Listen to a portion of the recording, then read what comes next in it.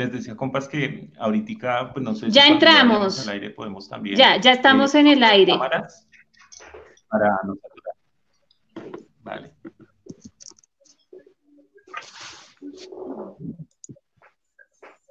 Ok. Más o menos a, a cuántas personas esperamos. Ya entramos. Ya, ya estamos en el aire.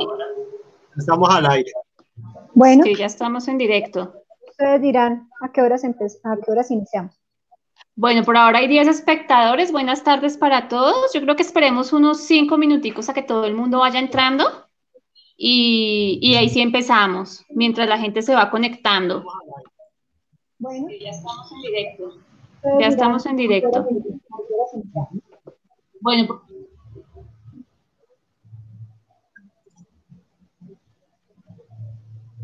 Dejé de escucharlo.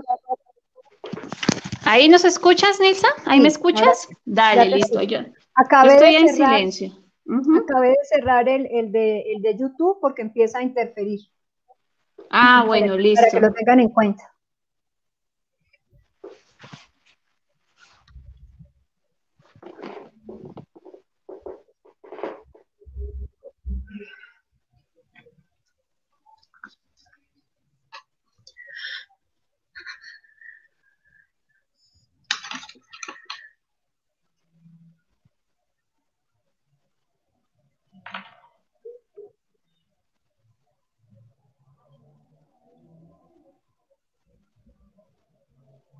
Buenas tardes a los que se van sumando. Vamos a, esperar unos minutos, por favor, a que las demás personas se, empiecen a conectar. Por ahora tenemos tres espectadores, 14. Vamos a darles otros minutos para que podamos dar inicio y que nadie se pierda los primeros momentos del conversatorio.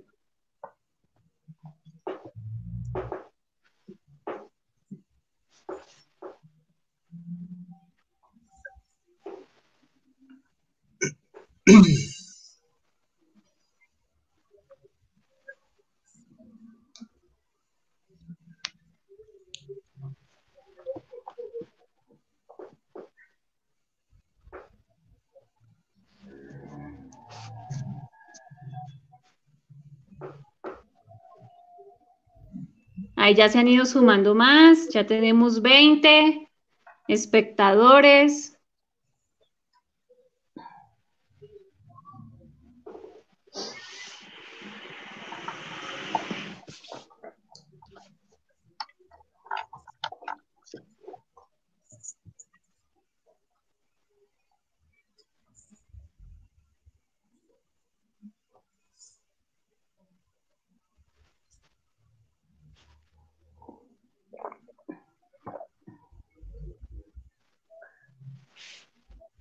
Sonia Amores, tienes el apellido más lindo que yo he escuchado en toda mi vida. Muchas gracias.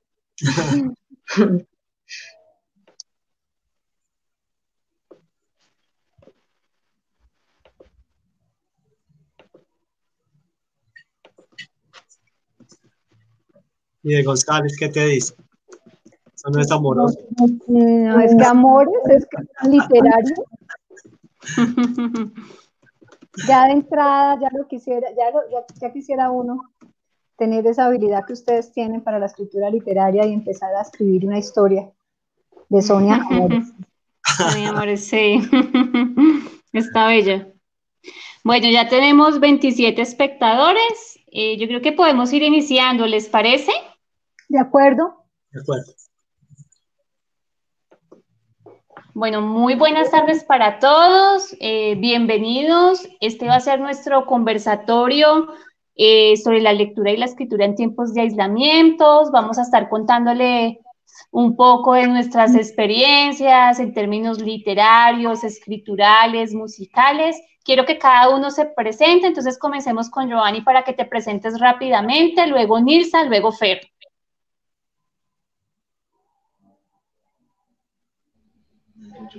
Hola, pues buenas tardes a todos y a todas. Mi nombre es Giovanni Patiño, hago parte del proceso de profesionalización de líderes y lideresas de la UNED. Se salió Giovanni, se le cayó la, la conexión. ¿Ven a Giovanni ustedes? Salió. No, bueno, esperemos que, comience a, conectarse. Dale, Nilsa, tú nos vas contando mientras tanto. Bueno, mi nombre es Nilsa Ofir García Vera, soy profesora de la Facultad de Educación de la Universidad Pedagógica Nacional. Per. Buenas tardes. Qué buena este, esta oportunidad.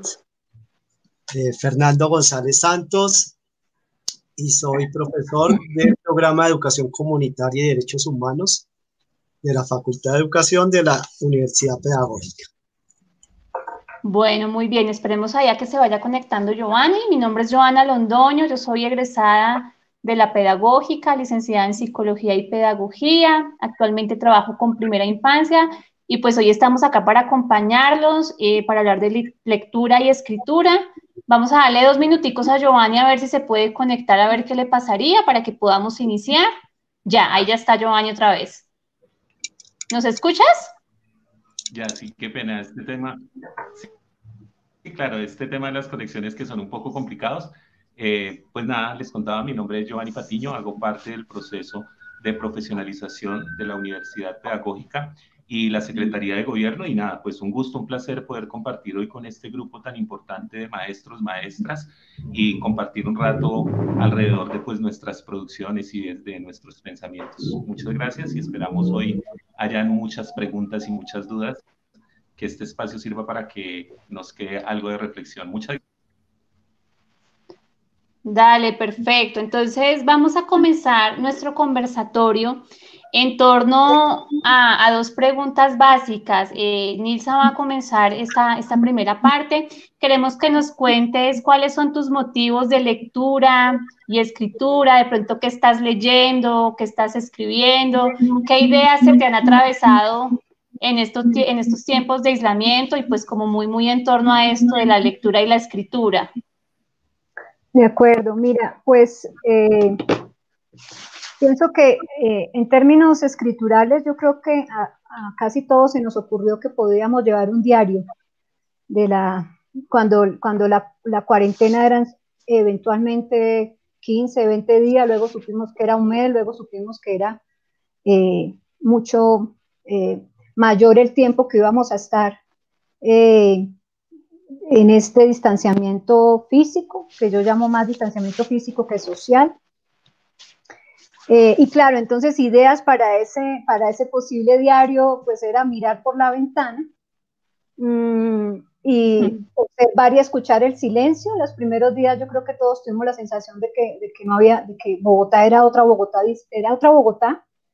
Total. Eh, yo observaba, o, observo aquí por la séptima, eh, tengo un panorama bastante amplio, empezando por las montañas, pero también todos los días veía una persona que salía y daba muchas vueltas alrededor de una azotea.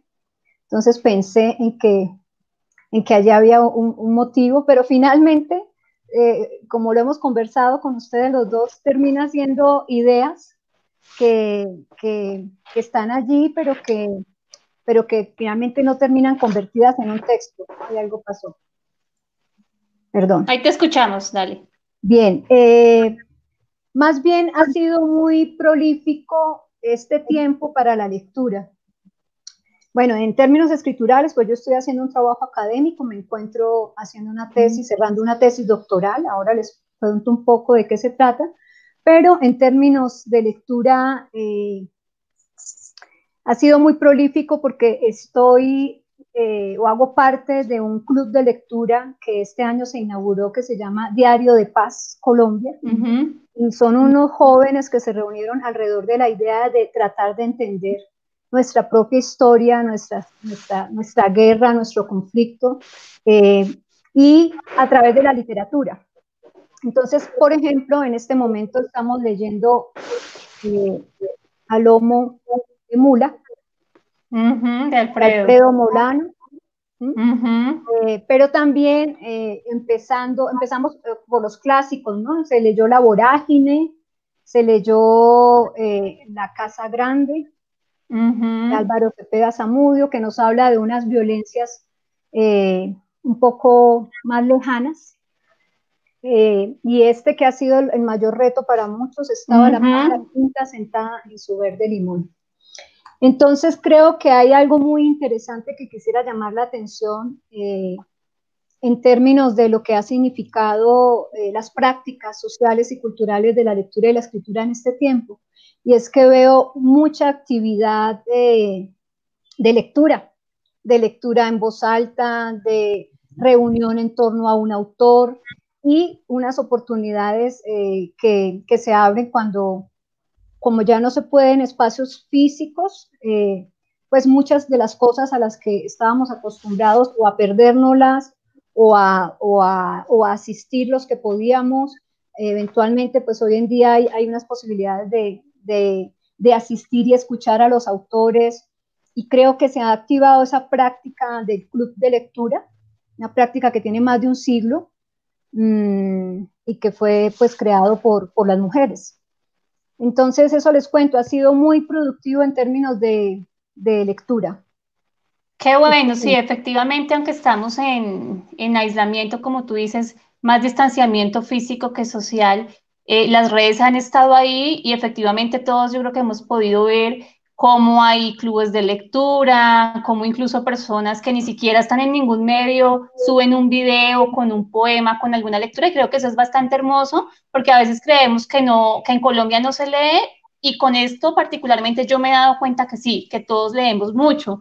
Bueno, yo particularmente eh, dije que este año iba a leer más mujeres que hombres, entonces en esta época de pandemia he estado en, versión feminista, solo mujeres, entonces ya pasé por Virginia Woolf, eh, retomé Svetlana Alexevich, que la tenía ahí como guardadita, ya la había comenzado, la terminé, muchos poemas de Ida Vital, eh, terminé una colección completa, de hecho, justamente con ella, eh, a propósito de mi pregunta de qué se nos ha, ocurrido, eh, hice muchas anotaciones al pie de margen porque creo que me dio ideas grandes para un poemario propio. Entonces, eh, muchas, muchas mujeres, eh, también he tenido ahí como algunos hombres, estoy le leyendo a Alejandra Pizarnik, como todos sus diarios. Entonces, esta ha sido una época muy bonita porque hemos podido leer bastante y justamente yo leo pensando en mi escritura, ¿sí? Eh, yo pienso que son dos prácticas que van a ir paralelas. Entonces, leo porque escribo y puedo escribir justamente porque he leído. Yo creo que nadie llega en algún momento a ser escritor o a escribir incluso un trabajo investigativo y académico si no ha leído nada. Nos toca leer mucho, mucho, mucho para siquiera escribir dos líneas. Yo creo que esa es una reflexión bien bonita que nos podemos llevar de hoy. Hay que leer 100 libros para escribir dos líneas. Eh, Giovanni, cuéntanos tú un poco de tus de esos pensamientos que se te han atravesado así no los hayas hecho realidad en cuanto a lo musical o de lectura. Bueno, pues es que, es que precisamente todo este tiempo también de, de, contingencia, pues nos permite eh, precisamente empezarnos a, a, a, crear nuevas cosas y, y, a pensar en nuevas, en, en, a tener nuevas dudas, ¿no? A mí, digamos, un poco me ha, me ha llamado la atención y me ha convocado el pensar qué pasa con, con esa cultura del silencio que llamaba Pablo Freire, ¿no? De aquellas personas que lamentablemente no tienen los medios de leer y escribir, todavía se presentan algunos analfabetas, pero eh, también de aquellas personas que están en esa cultura del silencio, porque precisamente no tienen el privilegio de acceder a una red de Internet o no tienen los mecanismos precisamente para poderse comunicar eh, a través de todos estos aparatos tecnológicos. ¿sí? Y más aún en medio de un, de un Estado que no ofrece garantías, donde se precariza al artista, se precarizan a los docentes.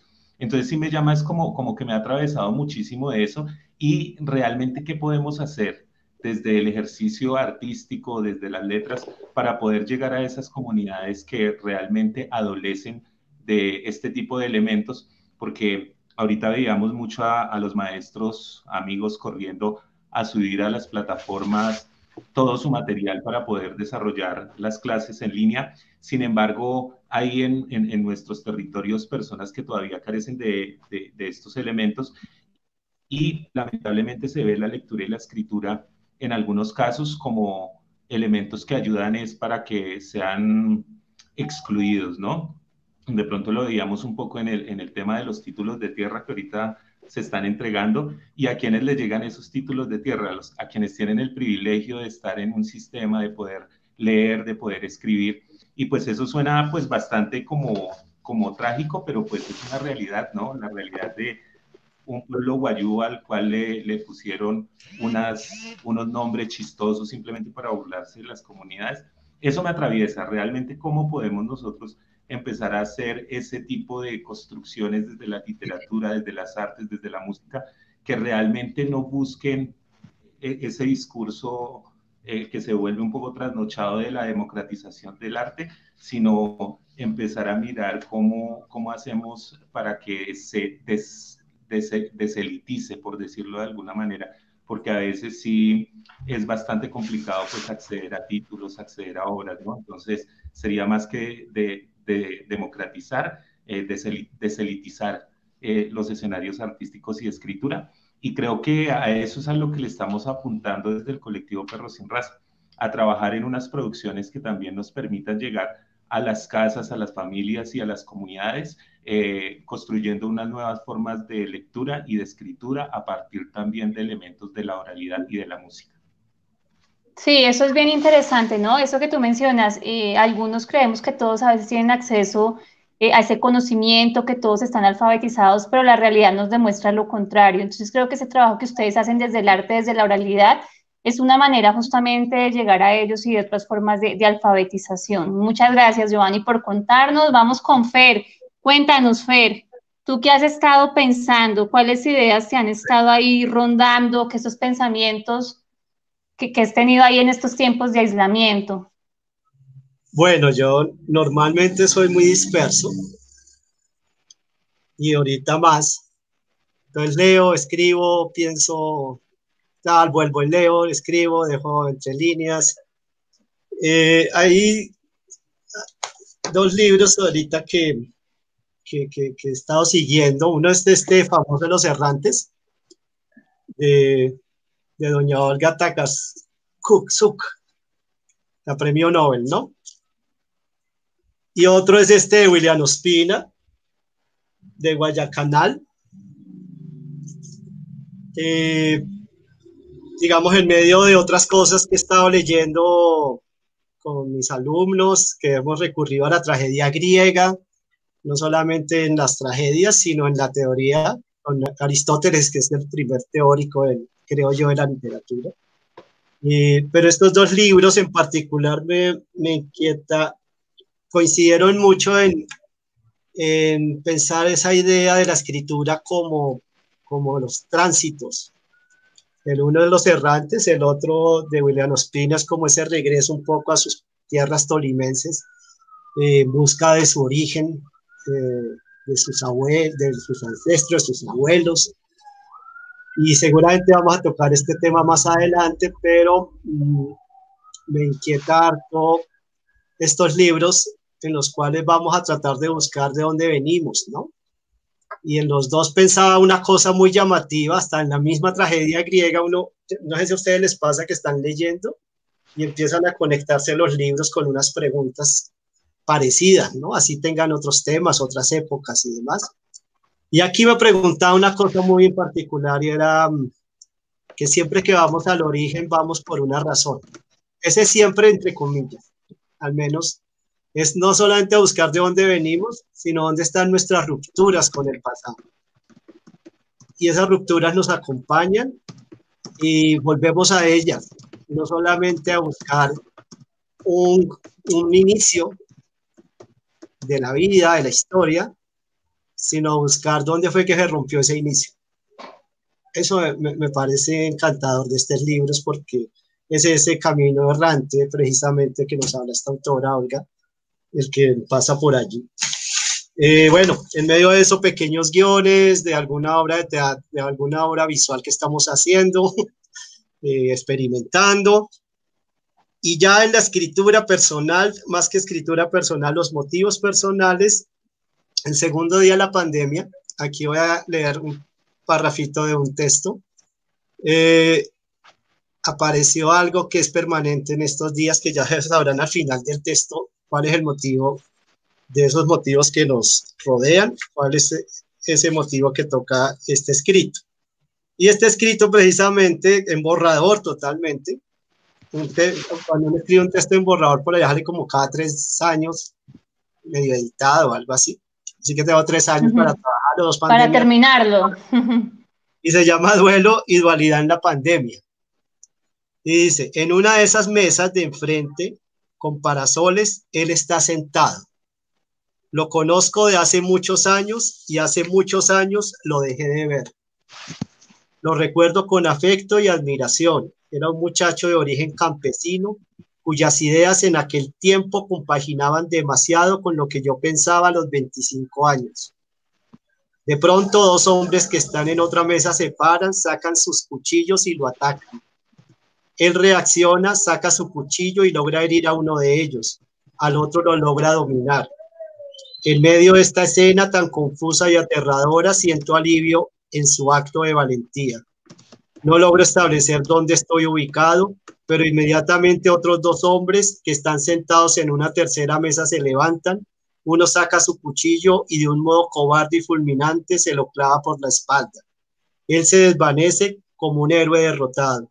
El tiempo literalmente se detiene, pues en un abrir y cerrar de ojos ya estamos adentro. Mejor dicho, tengo la duda de si es la misma construcción. Ignoro aún si este dato tiene importancia.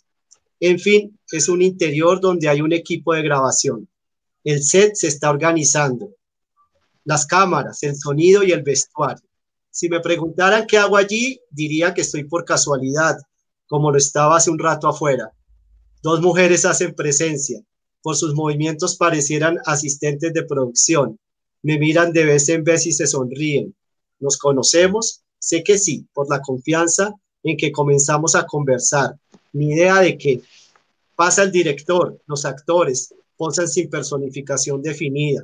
Los técnicos atraviesan el lugar de lado a lado. Nada logra interrumpirnos. Las dos me gustan, son tan parecidas como distintas. La cercanía entre ellas y yo aumenta en medio de los cables y los elementos de grabación. El encanto nos cobija. Los cuerpos entran en contacto indistintamente. Diríamos que sin pasar a mayores, algo se da y algo se rompe. La escena verdadera se pierde y regresa entre la bruma en que despierto. Me acomodo en la cama boca arriba, bajo mi mirada y ratifico que Irene, mi gata, esté dormida. Quizá ella no ha terminado la película de su sueño. Durante varios segundos repaso el mío. Recuerdo cuando Jun analiza que las alucinaciones de sus pacientes tenían mucho que ver con narraciones mitológicas de diferentes épocas históricas, los arquetipos del inconsciente colectivo que tanto estudió. Me entran unas ganas enormes de un café. Antes de entrar a la cocina miro por la ventana de la sala. Vuelvo a entrar en la conexión planetaria de la pandemia. La soledad de afuera me parece por ahora más extraña que la que de aquí adentro. Solo se divisa un recolector de basura que acrecienta la zozobra. Sirvo el café, me siento en el sofá y vuelvo a las dos escenas del sueño. Duelo y dualidad. Parece ser la Trato de hilar unas piezas con las otras y como un detective que acaba de descubrirse a sí mismo digo, claro, ahora todo tiene sentido. Muy bien, Fer. Los sueños. Entonces, ese, sí, sí, sí. Entonces, ese es tu borrador, ¿no? Ese borrador que dices puede quizás durar tres años en, en terminar de, de, trabajarse, pero así justamente comienzan los trabajos literarios, ¿no? Comienzas con una idea, puede ser de un momento presente y se va, se va desarrollando hasta que llega un punto en el que te sientas y comienzas a trabajarla. Esta aún no está, ¿cierto? Pero Fer, por ejemplo, yo sé que tú sí tienes eh, algunas ideas desarrolladas y supongo que Giovanni sí, está muy, muy bello tu borrador, ojalá lo sigas trabajando. Eh, acá justamente quiero que pasemos a hablar de en qué momento si hacemos realidad estos borradores, estas ideas. De pronto, Giovanni, cuéntanos tú un poco desde el tema de, los derechos humanos, cuando se les han ocurrido algunas ideas eh, ¿cómo has logrado concretarlas? Para que le contemos un poco a la gente. Digamos, Fer ya nos leyó un borrador, ¿cierto? Que quizás lo va a trabajar más adelante, pero justamente cómo ese borrador o esa idea que se nos atraviesa por la cabeza al leer, al escuchar música, sí la plasmamos. Cuéntanos un poco, Giovanni, desde tu trabajo de, de derechos humanos, qué ideas se han logrado concluir y cómo las han desarrollado. Bueno, claro que sí, pues es que precisamente como les decía al inicio, eh, la música nos ha servido también para encontrar esas otras formas para leer y escribir que efectivamente no nos las inventamos, ¿no? Que parten desde esos ejercicios de la, de la oralidad propia de los pueblos y que lamentablemente a veces se desconocen y que hay que decirlo también, ¿no? Muchas veces se vuelven todos los procesos academicistas y eh, todos nosotros terminamos por naturalizar y por asumir que efectivamente las producciones artísticas o culturales pues quedan ahí, ¿no? Eh, por ejemplo, en los territorios hubo una experiencia muy bonita que desarrolló la universidad, se me olvida, eh, bueno, que pudieron llegar a, diferentes territorios en el Pacífico y empezar a tomar esas formas de música y llevarlas a otro sistema también de escritura, que era la escritura musical, ¿no? Los amigos de la Javeriana, y poder también de alguna manera hacer que toda esa música que estaba por allá metida dentro de las montañas, pero que efectivamente desde una tradición oral se podía mantener viva, pues llega la academia, llega hasta la región, llega hasta los ancianos, hasta los sabedores y se puede recrear un nuevo mecanismo. Eso mismo hacemos nosotros. Nosotros empezamos a tomar algunos elementos eh, de esos diálogos eh, que tenemos situados en el territorio con las comunidades, ¿no? Muy haciéndole, muy echados también a la mano de cómo iniciaban los procesos de alfabetización de Paulo Freire, que eran situados en el territorio y recogiendo un poco esos, esos saberes de la gente, esas palabras importantes para poderlas llevar a canciones y desde allí eh, acercarnos a las personas y volver esto un poco familiar y que desde allí se dieran diálogos que efectivamente nos sirvan para poder generar transformaciones. En ese sentido, eh, les comentaba un poco que, que, a, partir de la escritura hace unas décadas atrás, los títulos eh, sobre la tierra pues eran entregados a las personas que básicamente tenían la posibilidad de leer y de escribir, lo cual obviamente hacía que se ampliara la brecha de desigualdad y que los que no podían acceder a este ejercicio simbólico, pues sencillamente quedaran por fuera. A partir de ello, pues nosotros eh, creamos como una, una canción que se llama Tierra de Todos, ¿sí? Y en esa Tierra de Todos tratamos de recrear un poco esa situación. Entonces vamos a, a ver cómo, cómo sale ese audio, vamos a intentar cantar un pedacito. Te escuchamos. un compañero de perros sin raza que se llama Leandro Muñoz. Entonces, pues bueno, vamos a ver cómo sale esto.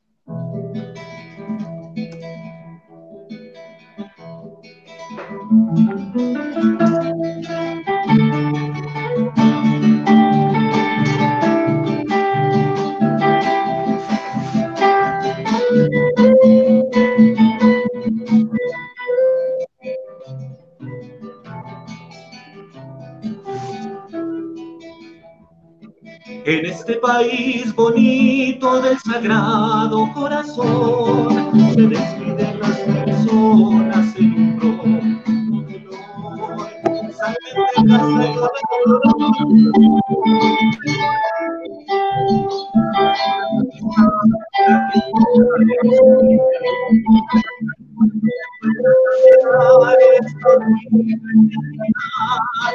donde matan nuestro pueblo por dinero nada más.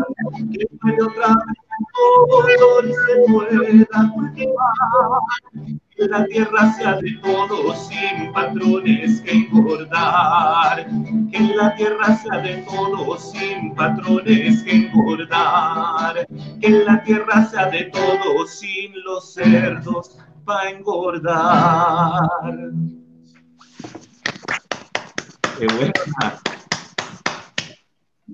Bueno, muy... Pues básicamente, básicamente bueno. Eh, bueno, les decía que básicamente este ejercicio pues nos permite eh, acercarnos un poco a la gente y poder hablar de lo que ha sido realmente esa repartición de la tierra en, en, nuestro país y cómo de verdad, lamentablemente a veces eh, ese ejercicio de la letra, de la palabra, termina en esas estructuras de poder, ¿no? Donde lamentablemente pues como que la, la cultura y la cultura, la tradición, las letras, las palabras terminan siendo como parte de ese eh, vocabulario fuerte de los mismos sistemas que hacen que efectivamente se sigan generando vulneraciones frente a los que no conocen este sistema escrito y lamentablemente queden afuera. Eso pues consideramos es pues una vulneración importante de los derechos humanos, ya que pues eh, se crean otros mecanismos. Toca, Amaranta nos hablaba hace ocho días precisamente en estos diálogos de cómo algunas mujeres o algunas mujeres y algunas mujeres trans eh, ejercían o trabajaban en prostitución y ella nos decía, eh, trabajar en prostitución no es malo, lo malo es que no existen otras alternativas para hacerlo. Entonces, nada, los dejo por ahí y ya ahorita regresamos, ¿vale? Muchas gracias. Bien, sí, justamente lo que nos dice Giovanni es muy cierto, ¿no? A, a menor nivel educativo, a menor nivel de alfabetización, desafortunadamente la vulneración de los derechos son muchos más grandes, ¿no? Digamos, él nos habla del caso puntual de tierras. Eh, yo en mi novela lo toco más adelante, les contaré justamente, tengo, tengo un personaje justamente al que le han despojado su tierra eh, en mi libro, pero vemos que la vulneración de los derechos es en todos los ámbitos, ¿no? Y algo que dice él que me parece muy importante es cómo ¿Cómo hacemos para que esas voces sean escuchadas, para que esa oralidad sea llevada a estas escrituras? Por ejemplo, el desde la música, ¿sí? Que también hay, una escritura y una lectura. Por ejemplo, Fer, eh, en tu trabajo de, de tu novela de Vivir sin los otros, tú también retomas esa oralidad, esas otras voces, esa vulneración de derechos. Sería muy interesante que tú nos contaras cómo ese proyecto llega a lograrse porque fue una idea que comienza a desarrollarse, que termina en escritura, que retoma voces, así como nos dice Giovanni, de personas que han sido vulneradas y demás. Sería muy interesante que en este punto tú nos contaras cómo fue ese proceso para anclar esa, esa idea. Bueno, sí, antes, si les parece, eh, vale la pena agradecer a las personas que han permitido este espacio.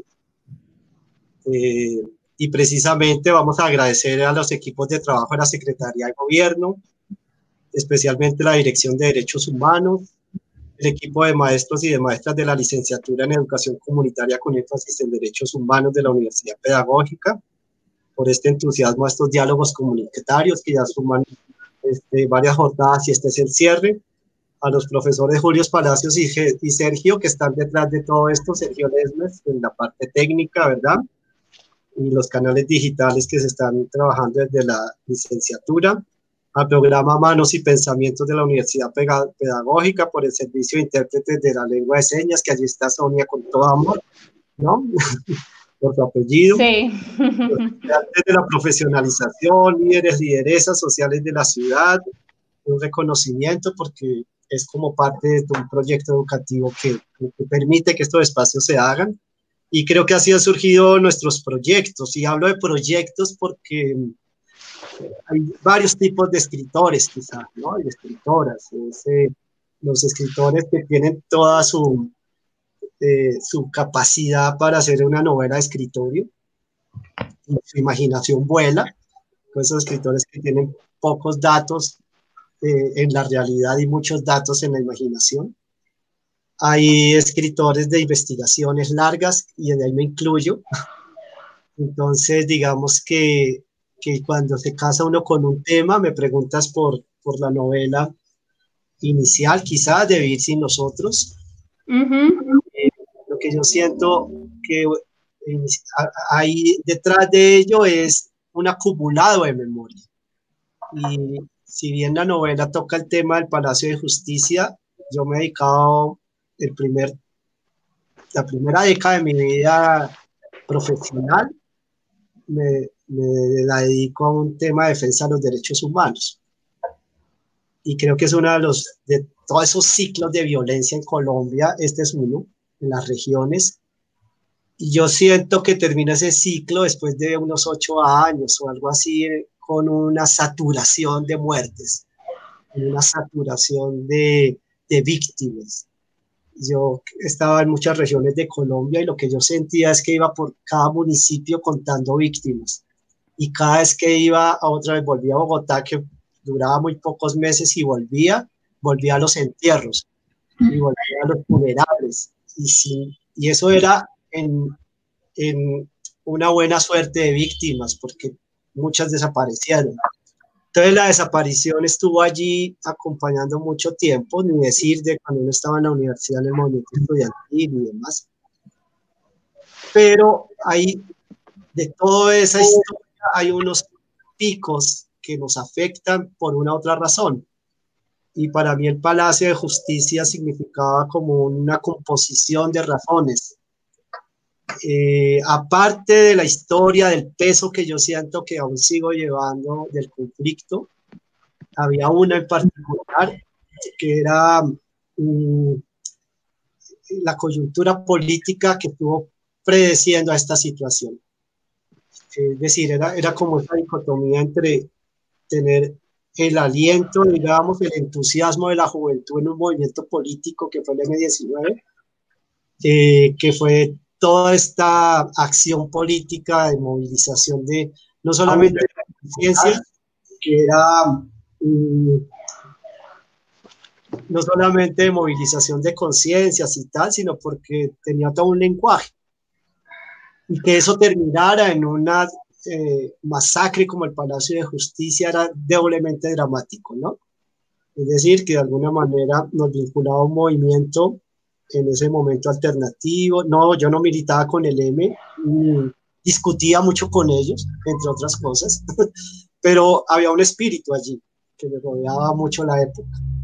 Y yo creo que el, el hecho de, del Palacio de Justicia genera una crisis interna porque es una sin razón, es un sin sentido.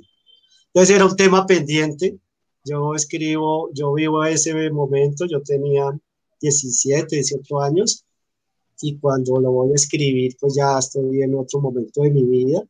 Pero entonces, aparte de recrear esa realidad de los desaparecidos, de esas familias, esas familias iban eh, a, la, a la oficina del abogado defensor que era Eduardo Moña Mendoza, con quien yo trabajé precisamente eh, en esa época. Entonces también él tenía esas voces, pero había una voz mía interna. Tanto que yo no me di cuenta a la hora de escribirla, eh, porque yo la trabajo como un caso tipo, ¿no? Y trato de seguir eh, ese camino del caso tipo, de reconstruir una, una trayectoria del de, de, de drama pero me di cuenta cuando ya casi tengo completa la estructura, las anotaciones de cada una de las escenas, yo soy muy metódico en las escenas, necesito escribirlas una por una en borrador para después volver a la literatura. Eh, ya cuando llego a ese momento, eh, puse lo que no había podido, no, lo que no había puesto. Y era una, un narrador, mi voz. Y eh, tuvo la voz de una narradora que es una periodista. Entonces, eso amarró la novela. Es, ahí hay todo un debate si está bien o mal puesto ese narrador, esa narradora, en los críticos y demás. Pero eh, esos dos elementos se conjugan. Una realidad que a uno lo sobrecoge, pero otra, ese punto en el cual uno se encuentra dentro de ese drama. Y es esa voz de esa época. Entonces, cuando eso se vincula, me parece, eh, uno logra darle forma a una obra. Se requieren otras cosas que ya es aventurar y técnicamente otros elementos, pero ese vínculo entre lo personal, lo subjetivo, que está por allá escondido en ese drama que uno cuenta, y esa investigación un poco en la cual uno, con la cual uno va desarrollando una trayectoria dramática, es un poco lo que significa hoy. Hoy podría decir eso, ¿no? Claro. En este conversatorio hay muchas maneras de hablar de una obra, como ustedes saben, pero hoy en este me parece que eso es lo que he ido pensando este tiempo. Bien, a mí algo que me llama la atención de lo que dices es esa voz narrativa que aunque tú la pones en una periodista eres tú, es tu voz narrativa. O sea, si en la crítica literaria hay mil cosas y si hablan de lo bueno y de lo malo y efectivamente muchas veces dicen que no es como lo, lo adecuado, lo correcto, pero yo sí pienso que esa voz narrativa propia siempre está ahí. Incluso uno pone mucho eh, de uno en los personajes, o incluso cuando estás haciendo un texto académico, eso justamente suele suceder, tus pensamientos y a veces se transforman en otras cosas. Acá yo creo que Nilsa nos puede contar justamente sobre su reseña a propósito del libro de Fernando, cómo esa voz se va transformando, cómo lo que era una reseña de un libro comienza a tomar vida a partir de lo que tú sientes, de lo que pasa y demás. No te estoy escuchando, Joana. ¿Ahí ya me escuchas? Sí. Sí, te lo vuelvo a repetir entonces. Eh, le decía a Fer que a mí algo muy interesante que me parece de lo que él dice es esa voz narrativa, ¿no? Esa voz narrativa de la que él habla, que finalmente pone mucho de sí, aunque es una periodista la que en su libro es la que está narrando, pero hay mucho de Fernando en esa voz narrativa. Entonces yo le decía, justamente cuando uno escribe, uno pone todo de sí, independientemente que el personaje sea otro, hay muchas, muchas cosas y muchos pensamientos que atraviesan la escritura y uno termina plasmándolas. Entonces sería muy interesante que tú nos contaras justamente sobre la reseña a partir de la obra de, Vivir sin los otros, cómo justamente eso se va transformando, tu voz, todo lo que ocurrió allí, cómo eso se transforma en otra cosa, ¿no? Como algo que parece una reseña, dar cuenta de un libro se transforma en mucho más y justamente creo que se relaciona con lo que dice Fernando, ¿no? ese propio yo que está ahí también inmerso. Bueno, como esto es una conversación y una conversación fundamentalmente es eh, una escucha atenta del otro y un sinnúmero de réplicas eh, que van surgiendo, un, sinnúmero de ocurrencias que van surgiendo. Eh, quiero devolverme, ¿están escuchando bien? Sí.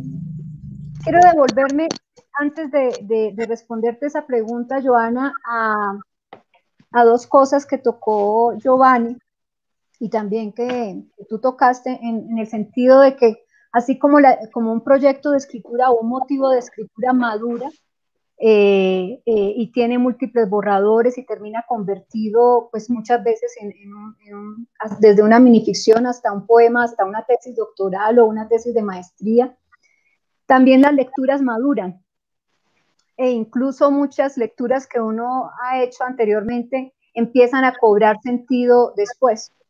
Eh, porque finalmente, porque finalmente eh, eso, de, eso que llamamos lectura y escritura como prácticas eh, sociales y culturales es porque nunca se hacen en, finalmente en solitario, aunque sean unas actividades que particularmente yo tomo el libro, leo o escribo, siempre, como nos decía Bakhtin, siempre esa conciencia nuestra se ubica en la relación con los otros, eh, en, la, en, la, relación con un lector virtual o con un posible lector virtual, alguien que nos va a leer, ¿cierto? Y también los escritores van pensando, eh, bueno, en la lectura también siempre queremos contar de qué estamos hablando, de qué estamos leyendo con otros, y por eso es que nos, nos, buscamos y nos encontramos para tertuliar, para hablarle al otro y comentarle sobre las últimas, las últimas noticias de las novelas que uno está leyendo. Eh, eso por una parte. Por otra parte, que este, que este escenario se llame polifonía me gusta mucho porque tiene que ver con, no solamente con que haya muchas voces, sino que haya una diferencia en esas voces, unas singularidades que se expresan allí y que no, y que no se unifican precisamente esto conecta, y voy a volver a conectar con mi club de lectura, que anoche en el, conversatorio de lectores, donde hay un especialista eh, que ha estudiado toda la obra de Alfredo Molano, pero también hay un estudiante que apenas tomó por primera vez ese libro, pero también está alguien que, ha trasegado y, y, conversó con el autor.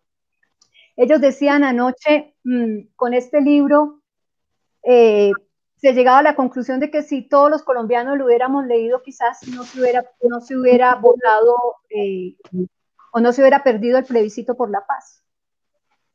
Y entonces yo decía, ¿qué es lo que deja escuchar este libro? Que bien podríamos decir eso, pero eso lo hubiera podido hacer un conferencista, eso lo hubiera podido hacer eh, en, los, en los medios, el mismo gobierno. ¿Qué es lo que deja oír este libro? Deja oír esas voces de las que hablaba Giovanni, deja oír esas voces de las que hablaba Fernando, deja permite eso que nos enseñó justamente Alfredo Molano, eh, que es la escucha atenta del otro, sin enjuiciarlo, ¿cierto? Porque la guerra lo que hace es justamente ponernos eh, eh, en un lugar donde no existe ni la experiencia ni la singularidad, ¿no? En un lugar donde solamente hay buenos y malos, ¿no? Eh, y ese relato hay que romperlo y este tipo de lecturas lo rompen porque deja escuchar ese otro que tiene algo por decir y, y, por contar y que tiene una historia y que esa historia está ligada a, a, a su familia, a sus dolores, a su tristeza, a la tierra que tuvo que dejar.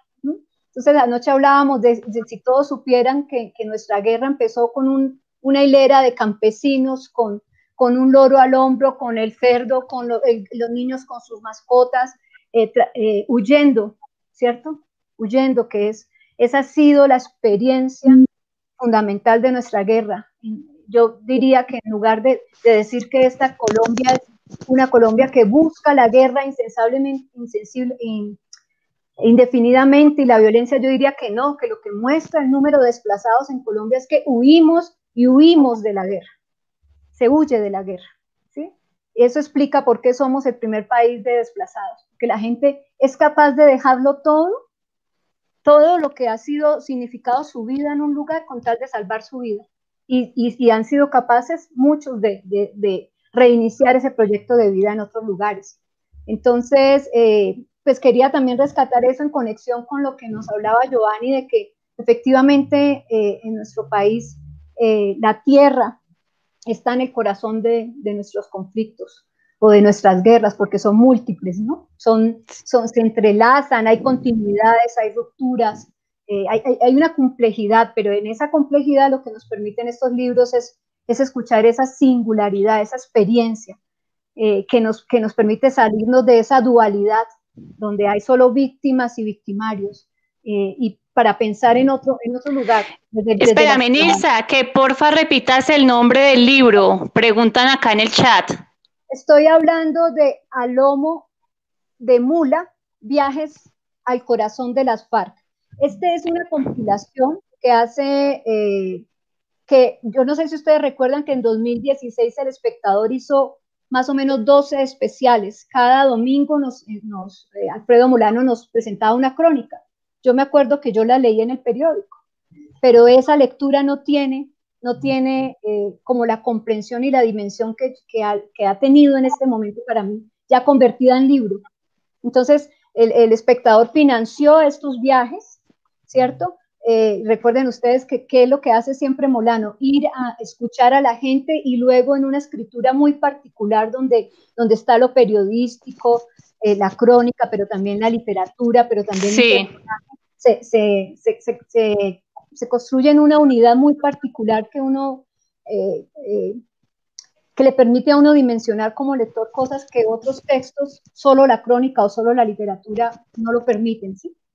Porque sí, yo te, Perdóname, que yo te interrumpo para decir que justamente Molano a mí también me sirvió mucho en mi proceso escritural, porque aunque es una historia y una crónica con otro lenguaje, yo veía palabras también escritas que yo decía, aunque esto no sea literatura, tiene tanto de literatura, la forma en que las plasma es tan diferente a lo cotidiano que te sensibiliza. Y de hecho yo, yo tuve que leerlo mucho para hacer la voz, por ejemplo, de mis dos guerrilleros que tengo en mi novela. Entonces es justamente cómo los humaniza y, eso es bien, bien bonito, porque es lo que nos decía un poco Giovanni, las otras voces, la oralidad, la traspaso a la escritura, toda esta vulneración de derechos y cómo él justamente lo toma.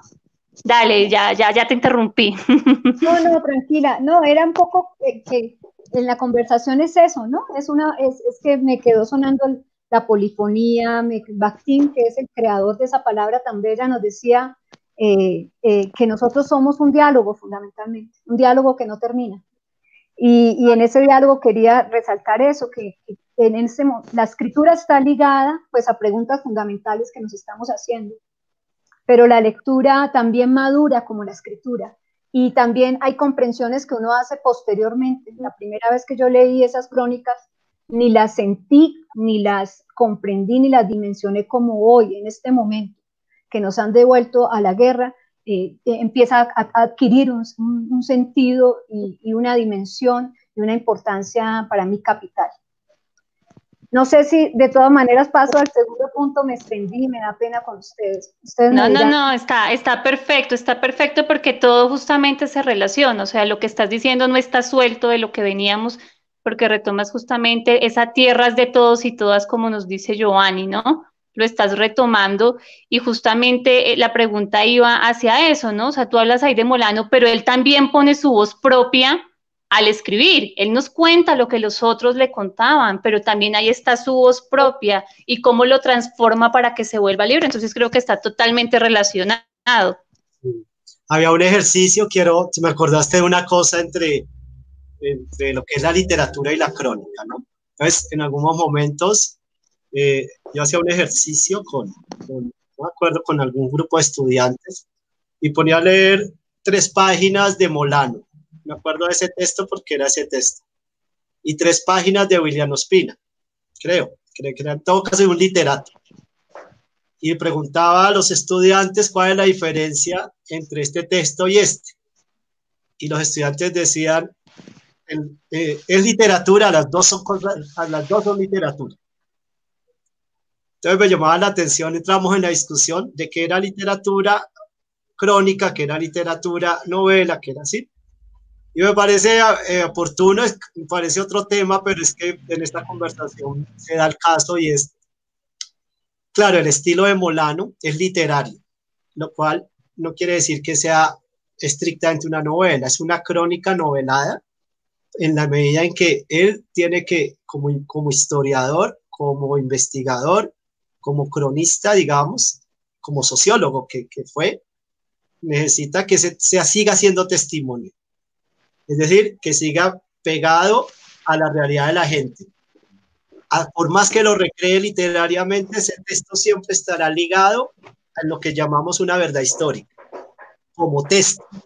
Mientras que el literato, jugando con los mismos elementos de recreación, metafóricos y demás, puede darse el lujo, entre comillas, de que ese texto no esté pegado directamente a la historia, pero que en consecuencia sí lo esté porque representa una dimensión histórica.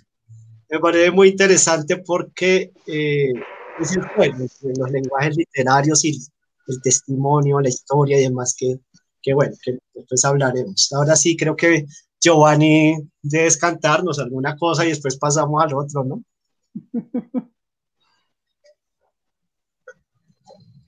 La verdad poética, que no por eso deja de ser verdad. La verdad poética, sí. Y algo bien importante, eh, digamos en Molano, esa transformación del lenguaje, ¿no? No es lo mismo que tú lo cuentes tal cual cuando lo estás escribiendo, porque si hay una transformación del lenguaje, es más viable que el otro se sensibilice. Creo que eso es bien, bien importante de cuando tomamos la oralidad para transformarla en un texto. Joanny, ¿ahí nos escuchas? Sí, sí, sí, aquí estoy atento, escuchando, claro que sí.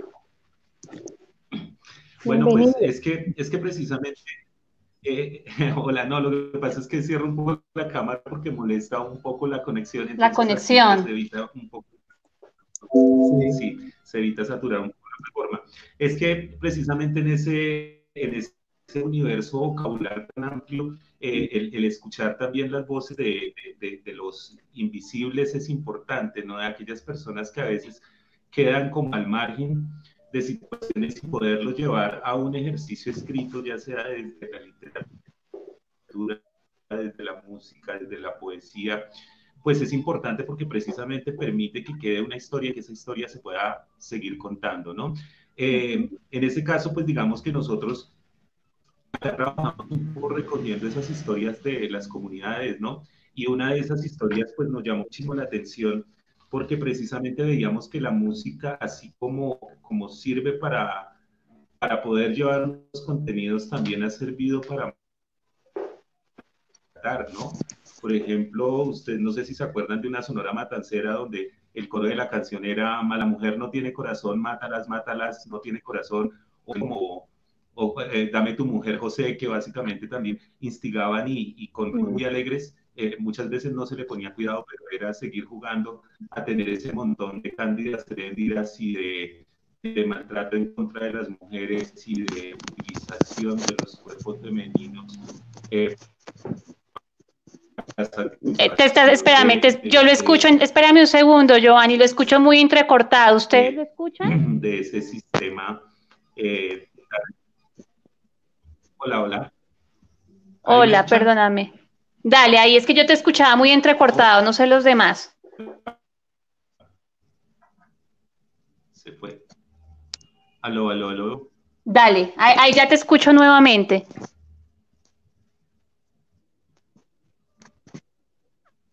Hola, hola. Regreso. Dale, ahí yo te escucho. Háblanos ahí. Hola. Ahí te escucho más o menos. Sí, es que está molestando la conexión. Sí, ya comenzó la, conexión como a fallar un poquito. Ahí salieron Fer y Nilsa, pero bueno, ya acá te sigo escuchando. Sí. Nos decías de las letras, ¿no? Eh, justamente como por el ritmo se reproducían sin analizarlas.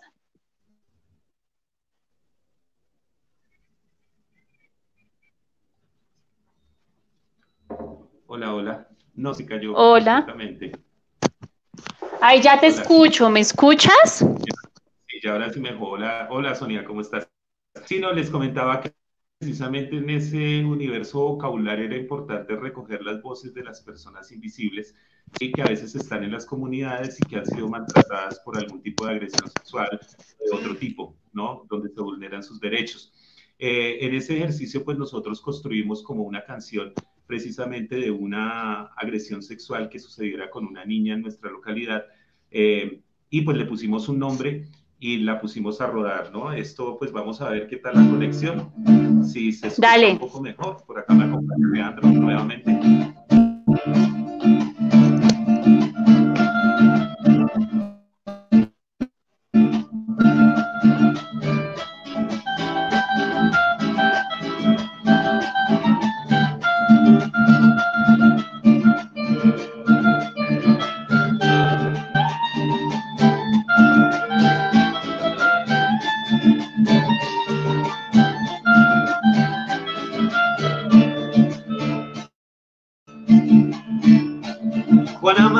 Tiene una pena que lleva en el corazón, porque llegando apenas a 15 en otro corazón. Juana María, tu amargo en la soledad de tu habitón, no son el mejor remedio para tus penas de amor, mejor remedio para purgar tus penas de amor. Juana María llora en su cuarto, recordando con horror que fue su tío querido quien le ha robado el pudor. Juana María, tu llanto amargo y la soledad de tu habitación no son el mejor remedio para purgar tus penas de amor, no son el mejor remedio para purgar tus penas de amor. Juana María, no llores por amor, libera ya la pena, libera el corazón. Juana María, no llores por amor, libera ya la pena, libera el corazón. Bueno, digamos que canciones como esta canción para el colectivo Perros sin Raza ha sido importante porque nos ha permitido precisamente llegar a diferentes comunidades, ubicarnos, como les decía anteriormente, en un contexto, hablar de esas realidades. La localidad de Voz, hay que decirlo, está en un muy mal lugar con relación a los embarazos en adolescentes. También en todo este tiempo de pandemia, pues se han aumentado los casos de maltrato en contra de, las mujer, de la mujer y de los, de los niños y de las niñas. Mm, digamos que a nivel Bogotá aparecen casi entre 16 y 24 menores y mujeres eh, afectadas por algún tipo de violencia o de maltrato. lo cual es bastante preocupante, ¿no? Pero precisamente poder llegar con esta música que a veces es un poco cruda, eh, nos ha permitido entrar en diálogos con las familias, poder empezar a hablar de la importancia precisamente de, de comunicarnos, de dialogar y que a veces entender que el enemigo a veces está más cerca de lo que creemos. Y pues esto sucede, imagínense, con, con, personas que, entre comillas, tienen pues todas sus habilidades, las personas que tienen habilidades especiales o que tienen, que tienen algún tipo de discapacidad, muchas veces también quedan eh, sumergidas en esa imposibilidad de comunicarse, de dialogar, o se naturaliza. Por ejemplo, que un tío o un primo les dé un beso en la boca es absolutamente normal. Entonces, ese autocuidado, esa ética de la dulzura y del, del, cuidado que de pronto nos habló Rosa Luxemburgo hace también muchos años, pareciera que hoy en día se pone más eh, sobre el papel, ¿no? Y que empieza a tener esas posibilidades. Y creo que a veces eh, la literatura nos ha servido precisamente para, para mirar ese, ese, ese futuro, ¿no? Uno, uno miraba, por ejemplo, eh, libros como La Vorágine con aquella explotación del caucho y hoy se da cuenta que si algo está vigente es eh, el montaje de monocultivos, ¿no? Entonces, pues nada, yo que todo este tema de escribir, de escribir de alguna forma, ¿no? Escribir a través del teatro, de la pintura, de la música, de ese teatro de la liberación que también tenía don Augusto Boal, pues es muy importante, ¿no? Ese teatro del oprimido, que se unía mucho también al discurso freiriano de la pedagogía de la liberación, empieza a tomar más sentido en estas épocas de encierro donde necesariamente tenemos que buscar cómo comunicarnos, cómo decir, cómo actuar y nada, perfectamente válida cualquier tipo de forma de expresión para, para denunciar también, ¿no? Eh, los dejo por ahí. Muchísimas gracias.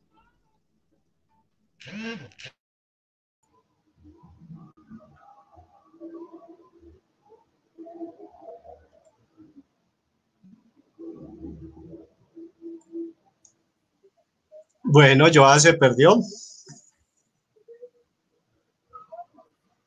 Eh,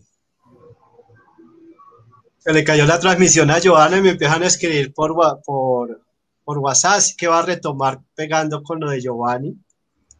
Eh, bueno, digamos que la canción, el tema musical que tú planteas allí, desde luego sí remite a un momento actual.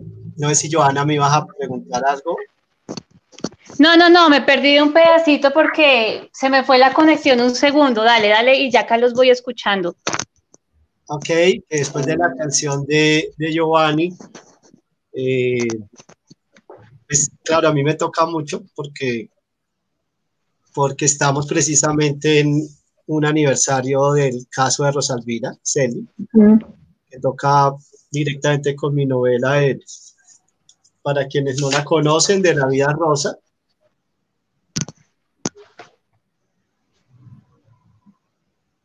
que es el, el, oscuro amanecer de Rosalvira Celi en el Parque Nacional.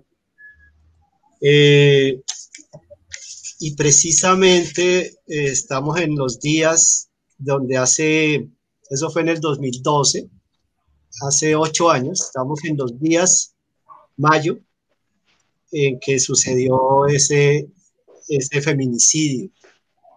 Rosalvira el 24 de mayo al amanecer estaba pidiendo a gritos eh, por la central de emergencia 123 que le ayudaran.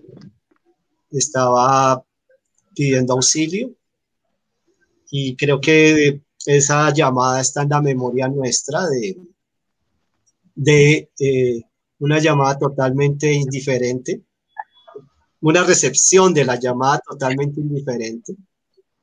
Eh, en la cual hay un prejuicio total de, de, de, de machista, patriarcal, eh, dudando un poco de que allí hay una víctima que se encuentra en un barranco. Hay una revictimización de ella. Total, total, es de esa manera. Y hoy, 27, hace ocho años, Rosalvira se estaba debatiendo entre la vida y la muerte. Ya está, había perdido el conocimiento. Estábamos en las últimas escenas de su vida, que son las últimas escenas de la novela.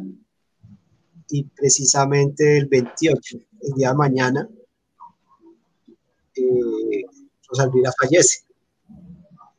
Entonces, digamos que estamos en pleno momento dramático de conmemoración. El, domingo estábamos en el Parque Nacional con bastantes restricciones obvias, pero como que no se dejó de hacer la conmemoración, el acto conmemorativo. Allí hay una placa de ella. Y bueno, eso es un poco lo que me evocó lo que dice Giovanni respecto a la novela.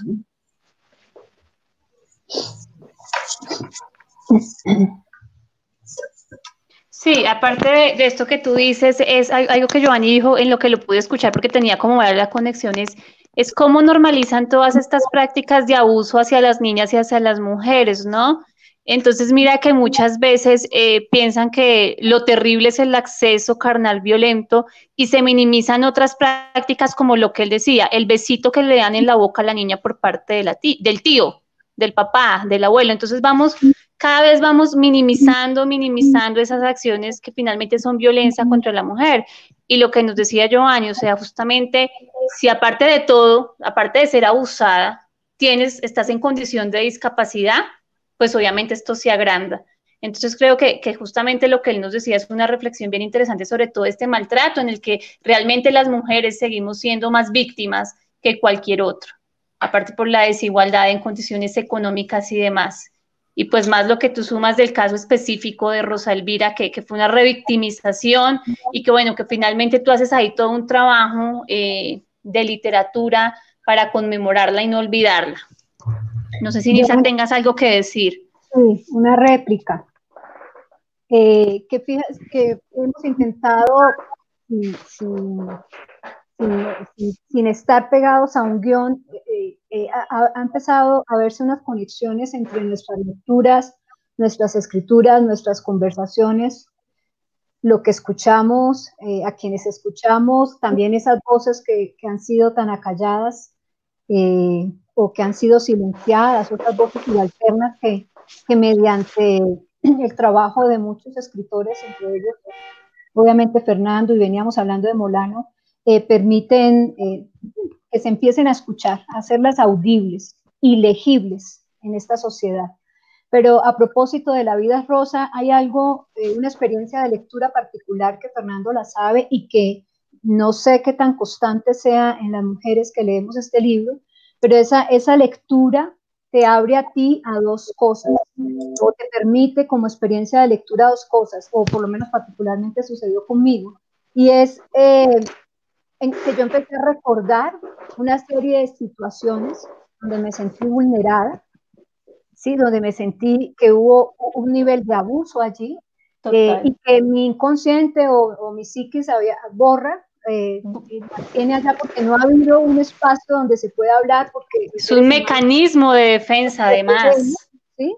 Y, y, y ese, ese libro te hace hablar o te hace recordar y te, y te hace eh, eh, buscar la necesidad de que eso se haga audible, de, de contarlo. Eh, y bueno, cuando uno empieza a contar y a regalar el libro, se da cuenta que casi todas las mujeres, empezando por nosotros y las mujeres que amamos, Siempre. Y nuestras, hermanas tienen alguna experiencia particular donde, donde, donde, ha habido una situación de abusiva. En distintos niveles, pero, pero, pero ha sido una, una práctica cultural casi que naturalizada y esa novela es maravillosa porque nos abre la palabra, nos devuelve la palabra, nos hace y, nos permite recordar, hablar allá de algo que estaba lleno en el inconsciente eh, guardado y, y, de pronto aparece, aparece eh, en, en, medio de la lectura. Entonces, lo, lo, que uno normalmente haría en los márgenes de los libros que los que escribimos generalmente eh, eh, la, lectura es una actividad donde uno va leyendo y va escribiendo. La ocurrencia allí tenía que ver con un recuerdo eh, particular donde nos vemos allí reflejados. Entonces, pues eso me parece muy potente de ese tipo de, literatura. Eh, sí, es como también entramos a reconocer que también hemos sido vulneradas, eso que tú dices. Eh, justamente a propósito del otro día, del Día de las Víctimas de, de, la Violencia Sexual y las Mujeres, yo escribía un poco al respecto y es que, bueno, yo conozco mujeres de todos los estratos, en todos los círculos, y alguna vez estábamos reunidas más de 30 entre profesionales, no profesionales, de 17, 30, 50, y todas hablábamos y todas decíamos, en algún momento hemos sido vulneradas y abusadas, lo que tú dices, no en las mismas dimensiones, pero de alguna manera nos lo hacen minimizar y no tenemos por qué minimizarlo. Digamos, yo que trabajo con niños y con madres, yo siempre les digo, o sea, no tienes que minimizar ni la caricia, ni el beso, eso es una situación abusiva. A mí lo que me encanta de esta novela es que justamente Fernando la retoma, ¿no? Fernando justamente es esta voz masculina que, no es el típico macho que vemos en la sociedad. Yo pienso que Fernando ahí tiene demasiada sensibilidad y eso es tan importante en una voz escritural. O sea, tú cómo retomas esa voz. Y no solo en esto, ¿no? Porque incluso en Vivir sin los otros, eh, la protagonista principal, ahí también hay una mujer, ¿no?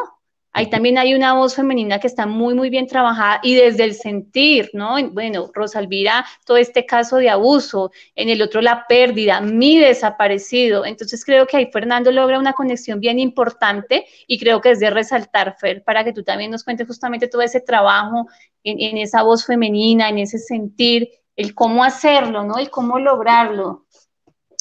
Bueno, aquí hay, eh, primero, claro, ya, ya son ocho años eh, y en la novela son seis años. Entonces ha sido un proceso eh, que ha tenido unos ciclos, ¿no? El primer ciclo, bueno, primero es escribir esto. Yo no puedo decir que hay una intención muy clara mía de, de que me metí. La cosa, ni siquiera tengo conciencia del feminicidio, y por más que yo en este momento tenga cercanía con los movimientos de género, amigas, las amigas mías al menos son feministas, por más que todo eso, eh, en ningún momento hasta ahí me había preguntado a fondo la problemática. Eh, y entonces el problema más bien es que yo me encuentro esa historia, porque estoy con unos practicantes, con unas practicantes, creo que todas eran chicas, en el colegio. Y entonces el impacto es fuerte. Y ya me pregunto cómo es que esto afecta a una institución. Entonces, a partir de allí, ya empiezo a recrear la historia. Y es como si la historia me hubiera perseguido a mí. Creo que todas las historias lo persiguen a uno, pero esta en particular eh, ya es algo bastante fuerte, yo cada vez lo hago más consciente, digo en qué momento Rosalvira se acercó en su situación, atrapó en un momento dado mi, momento, eh, y en qué momento yo llevo también voy y escribo esa historia. Entonces, el primer año, el segundo año es muy, muy, muy, muy fuerte. Yo empiezo a tener como una afectación de muchas maneras y empiezo a sentir una carga del caso. Es decir, estoy hablando eh, no en términos de, del mensaje del libro, sino de la experiencia del libro, ¿no? Entonces yo esa historia la siento en esos dos primeros años con una carga, me empieza a dar taquicardia, empieza a somatizar un montón de cosas. No tengo desde dónde a, eh, interpretar a fondo lo que escribí ahí, con Adriana, con la hermana de Rosalvira, empezamos como a compartir los dolores, ¿sí? Corporales, existenciales. Además, arrancamos a presentarlas en una gira nacional larguísima. Y ahí empiezo a sentir, no el caso de Rosalvira, sino todos los casos de todas las presentaciones que salían, eran muchas, y me empiezo a llenar como de esa angustia un poco, ¿no? Hoy es un día la hoy es un libro de la memoria donde uno toma como más distancia, al menos como escritor, pero está allí. Literariamente hablando, el asunto aquí es que todas las voces son en primera persona. Y yo si lo hubiera pensado, no sé si hubiera hecho eso, porque es que eso es el escritor cargarse de las voces femeninas. Entonces yo hablo como la abuela, que en ese caso es la, abuela de, de abuela también, la madre, la hermana, Rosalvira, la amiga, y todas van en primera persona si ustedes ven ese libro. Eh, entonces, claro, era yo ubicarme en cada lugar de esas mujeres y narrar desde ahí, inventar un lenguaje en cada una. Eh, y me parece que eso, eso es brutal. eso es brutal, digamos, porque no es tanto el acontecimiento de Rosalvira como el, el, universo de, victimización de varias mujeres que están allí. Eh, y entonces, ¿qué te queda a ti? Te queda el lugar masculino. El lugar masculino es el victimario. Y entonces allí yo me preguntaba si escribía en primera persona. Eh, en primera persona me lancé a escribirlo. Y eso fue brutal porque era detener eh, eh, hasta donde se pudiese detener el momento exacto que ocurrió el feminicidio. Y tratar de no, no, no contar el feminicidio, porque yo no lo cuento tan en detalle, porque es brutal, doy dos o tres elementos, como crear una, eh, como una especie de fuga literaria que me permitiera decir de alguna manera eso. Y en alguna medida tratar de asumir el lugar de victimario es tratar uno de entender que quiera o no pertenece a ese mundo masculino. Es decir, que, que literariamente te, te, da la oportunidad de lo que en la práctica no quieres asumir. ¿no? Y ese es el lugar de lo masculino eh, en todo esto. A mí me parece que ese es el ejercicio que permite que esto llegue de esa manera cuando se encuentra la lectura, ¿no? Eh, ese desdoblamiento un poco de todo lo que ocurre alrededor del libro. Y claro, Rosalvira está allí de fondo, si se quiere, eh, pero Rosalvira son muchas voces que están metidas en el libro. Y la investigación misma me fue llevando hacia allá, porque yo llegaba a hablar con alguna persona que me hablara de Rosalvira y me hablaba era de su caso. Y me parece que en ese camino uno sigue, si hay algo que uno mantiene, es seguir en ese camino, no tanto desde ese hombre ideal, de si cambió o no, porque no lo soy, ¿no?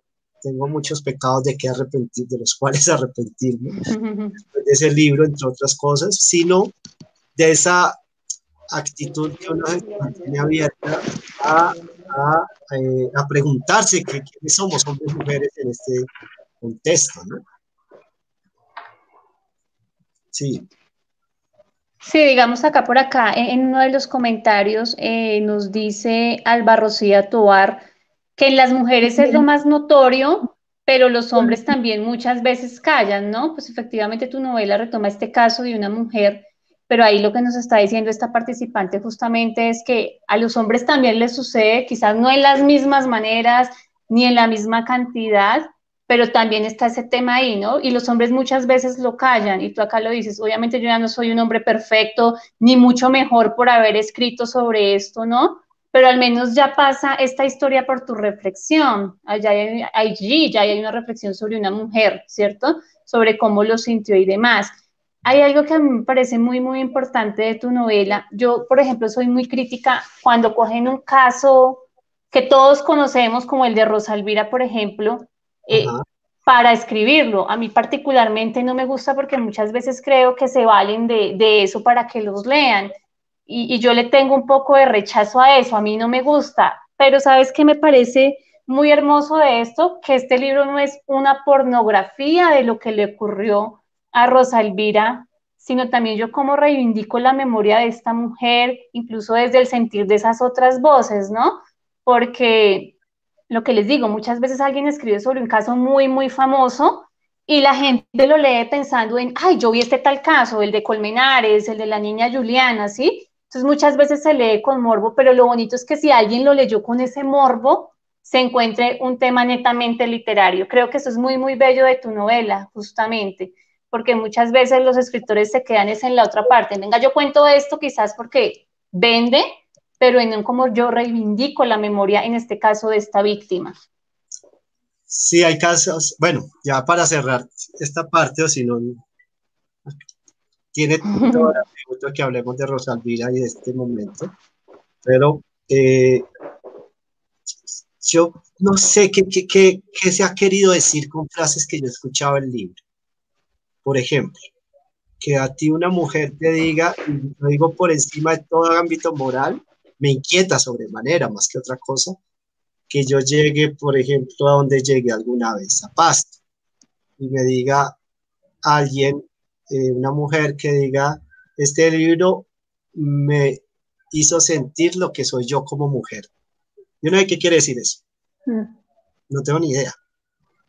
O en alguna, precisamente una, eh, yo voy ya, yo por lo menos voy a unos actos ya permanentes, ¿no? La conmemoración de Rosalvira, el 8 de marzo y el 25 de noviembre.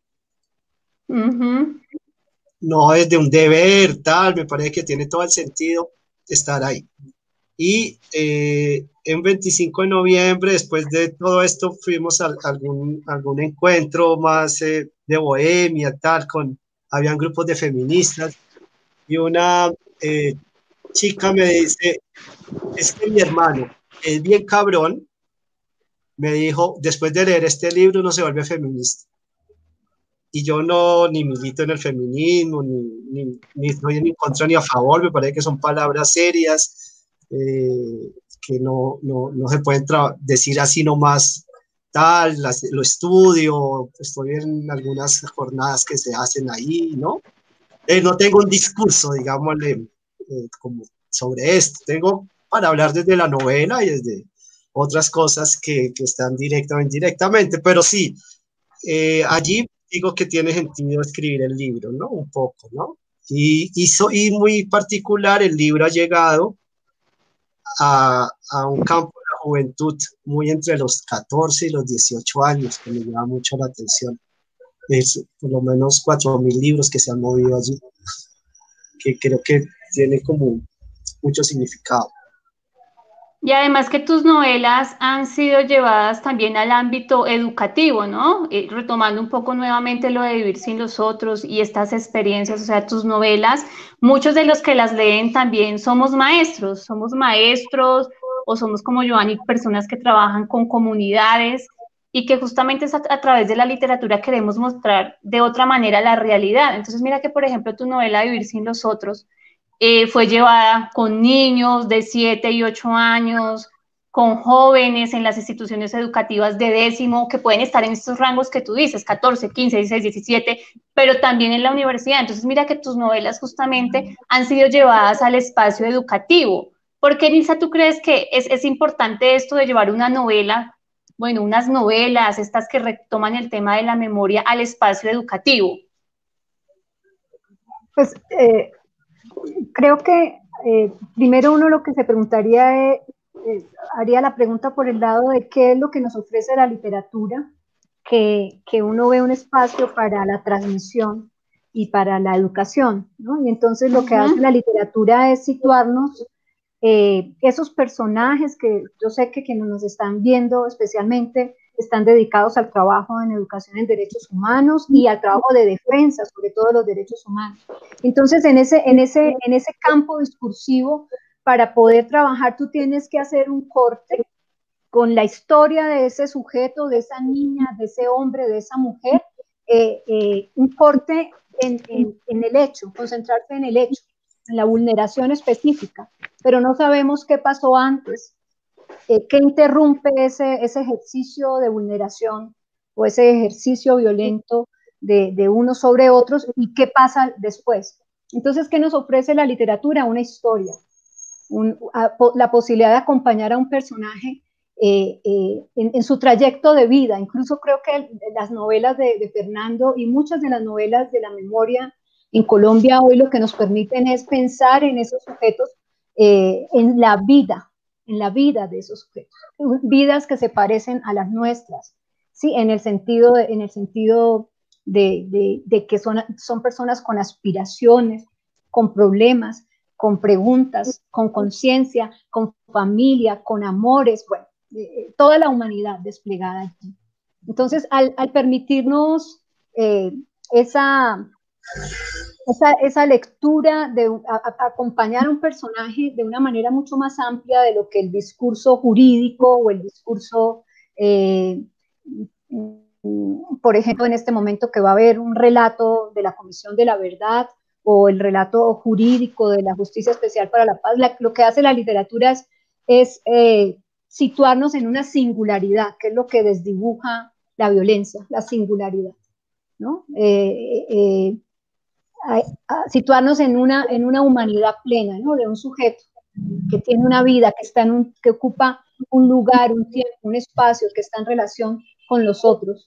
Y en esa medida, eh, lo que hablábamos precisamente de la novela de, de Rosalvira Celi, pues nos permite, Joana, empezar a conversar eh, sobre, sobre esa experiencia de vida y, y, alrededor de eso eh, em, empieza a suceder un diálogo que es necesariamente siempre contingente. Es decir, tú no sabes como maestro qué va a suceder cuando llevas el libro. Tú puedes tener unos, unas hipótesis, puedes tener también, puedes prever ciertas cosas y ciertos temas. Obviamente tú sabes que hay, una, hay, un, hay campo temático argumental que, que tú tienes que dominar como maestro, ¿cierto? Pero también te abres a un diálogo y eso es justamente también una, una posibilidad pedagógica que hay allí, porque ese tipo de novelas lo que nos hace es aprender a escuchar al otro, esa escucha de esa historia que en un momento dado nosotros en, otros escenarios podemos simplemente apagar la noticia, apagar el radio, eh, cerrar el periódico. Allí, eh, en el ejercicio literario, eh, aprendemos otro modo de escuchar al otro de escuchar a ese personaje y acompañarlo. La experiencia estética también nos da una posibilidad y es que así como lo acompañamos durante todo ese trayecto donde ama, vive, sufre, también podemos eh, eh, cerrar la escena, hacer una clausura estética. ¿sí? Por supuesto, se quedan muchos personajes con nosotros, por supuesto nos dan a pensar, por supuesto nos dan a, discutir con los otros, por supuesto, empieza uno a, ser vívido una memoria que no tenía a través del recuerdo del otro, pero la literatura permite que haya una clausura estética y que, es, y que esa novela y, y, ese tiempo y ese espacio pase para dar lugar a otros escenarios que yo llamaría de reflexión ética, de reflexión, de reflexión ético-política y de reflexión eh, sobre, sobre el modo en cómo nosotros habitamos este país y el modo en cómo nos relacionamos los unos a los otros y, y, el modo en cómo hemos eh, muchas veces eh, por desconocimiento eh, no sabemos cómo los otros han vivido situaciones que los han puesto en, en, situación de vulneración de, sus derechos mínimos, ¿no? de sus derechos básicos, de sus derechos a lo más importante, a la vida. ¿no? Entonces, eh, creo que ahí es donde se abre el escenario pedagógico. ¿Qué sucede? Pues obviamente tiene que ver con también aprender a escuchar a, esos chicos o a esos jóvenes o a esos niños y a su propia experiencia de lectura. ¿Qué les dice ese texto? Eh, sin, sin, esa eh, demanda permanente escolar por controlar la lectura, ¿no? por anticipar una serie de preguntas. ¿no? Yo creo que este tipo de novelas, si llegan a nuestros espacios de formación, tendrían que ser median, mediante una, eh, un, espacio de escucha, de tertulia, de poder hablar, de, de, poder dudar, de incluso sentir que el maestro tampoco tiene todas las, todas las respuestas. Por allí hay también una, una, pregunta de alguien que decía cómo hacer para acompañar a las comunidades en los procesos de lectura. Y yo creo que uno acompaña, uno acompaña cuando aprende a escuchar.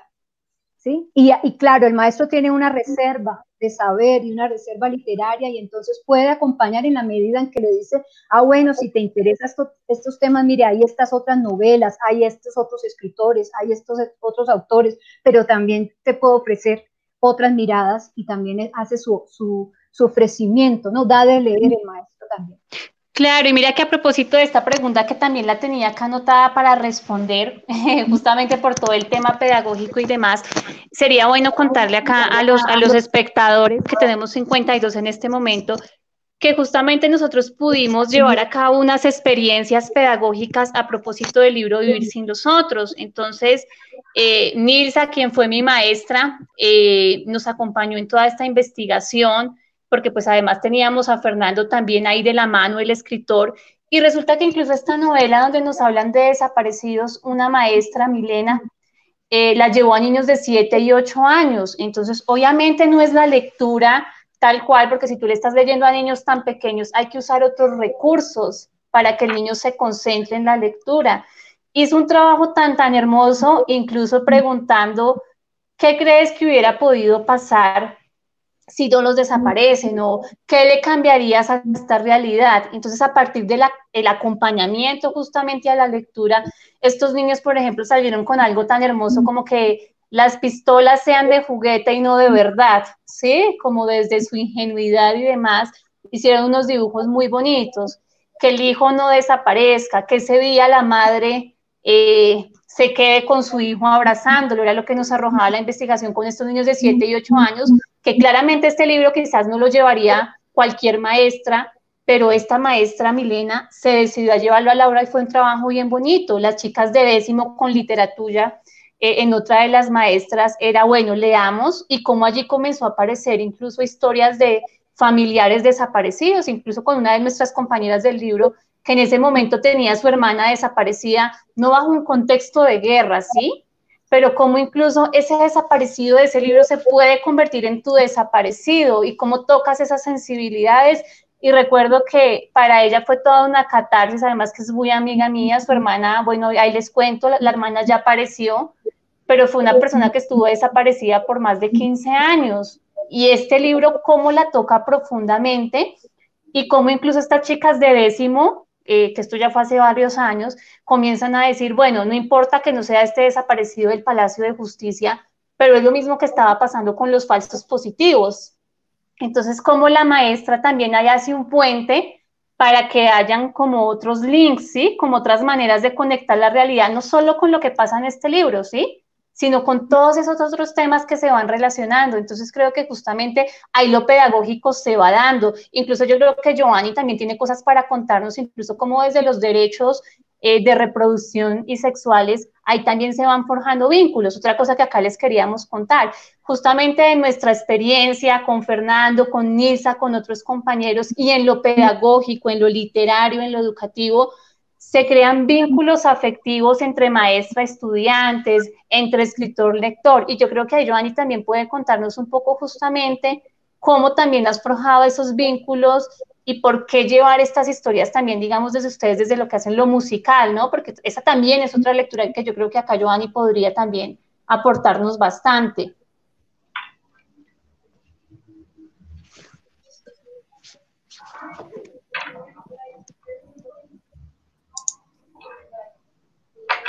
Ahí nos escuchas, Giovanni, sí. Eh, hola, sí. un poco la señal. Bueno, eh, contarles un poco que también, pues, sí, hola, hola, ¿cómo estás, No, contar un poco, pues, de... Giovanni, acércate más al micrófono. La maestra precisamente de esos espacios pedagógicos desde la palabra, pues, hemos tenido la posibilidad también de... Me voy a hablar un poquito más fuerte, ¿así? ¿Qué tal? Así. Eh, les comentaba que, como decía la profesora, listo, vale. Como nos decía la profesora Nilsa, precisamente esos espacios pedagógicos hemos podido, a partir también de la música, llegar a otros escenarios y hemos logrado acompañar también a la construcción y a la creación de la primera organización eh, femenina en el sur de Bolívar y Catatumbo, aportando un poco a esta construcción de esos feminismos eh, campesinos o feminismos insurgentes que se vienen dando también en la región como una forma de reivindicación precisamente de las mujeres que habitan los territorios, ¿no?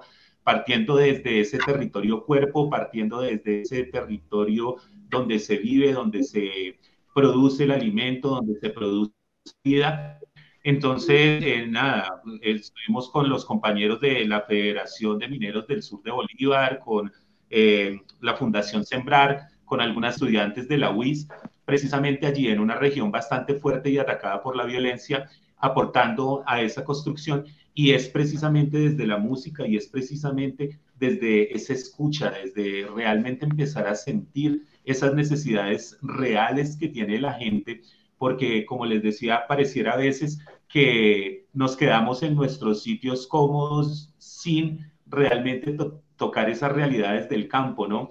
De allí resultó también una canción que se llama Los Recuerdos de Mariana y es la historia de una niña de una región que se llama Micuaumao, eh, que sufren mucho por el tema del instigamiento militar y son bombardeados y allí precisamente pues también una canción empieza a contar esa historia, ¿sí?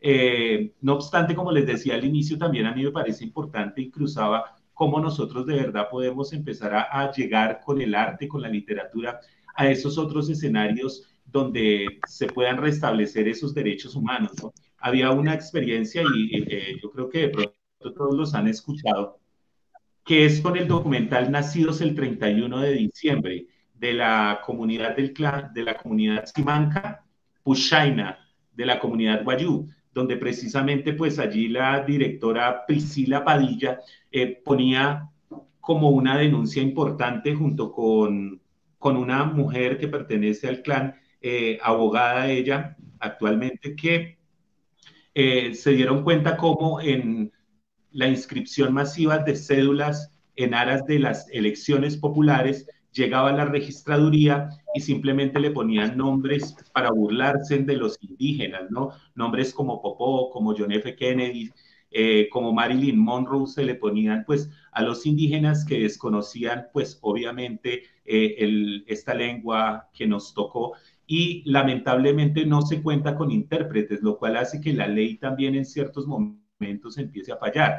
Digamos que la constitución del 91 permite que precisamente incluso un derecho de petición se pueda hacer de manera verbal, ¿no? Utilizando la palabra. Sin embargo, pues cómo se le complica la vida a aquellas comunidades raizales, a aquellas comunidades indígenas que no tienen la posibilidad de hablar en español, donde un Estado tampoco eh, proporciona los intérpretes. ¿Qué sucede cuando una persona que ha crecido precisamente eh, en este ejercicio que nos acompaña Sonia, eh, que, son, que son mudos, ¿qué pasa con ellos que son sordos, que no saben escribir y tienen que llegar en algún momento determinado a poner una denuncia por un asunto de algún tipo de violación o de vulneración?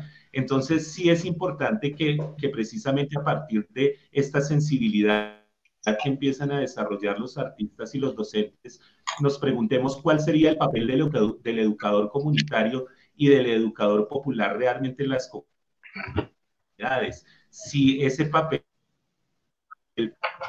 también puede servir para que estos educadores y estos eh, lleguen a ser la voz eh, y, lleguen a ser los intérpretes de esos sentires de los pueblos. ¿sí? Lo decía también un poco al inicio, este teatro del oprimido de Augusto Boal eh, permitió precisamente que en Brasil se rompiera la cuarta pared en el, en el escenario teatral y se empezaran a construir unos guiones con las comunidades donde los artistas terminaban siendo los, los protagonistas, terminaban siendo precisamente los mismos campesinos, las mismas campesinas, quienes contaban esas historias, esas historias que eran luego puestas en un libreto, en un guion, y ellos podían acceder al escenario para hacer ese, para que ese pueblo, ese pueblo público, pasar a realmente también a ser protagonistas de sus historias, ¿no? Entonces, siento que ese, ese papel del educador es importante, de allí la necesidad de seguir generando una defensa sobre nuestros docentes,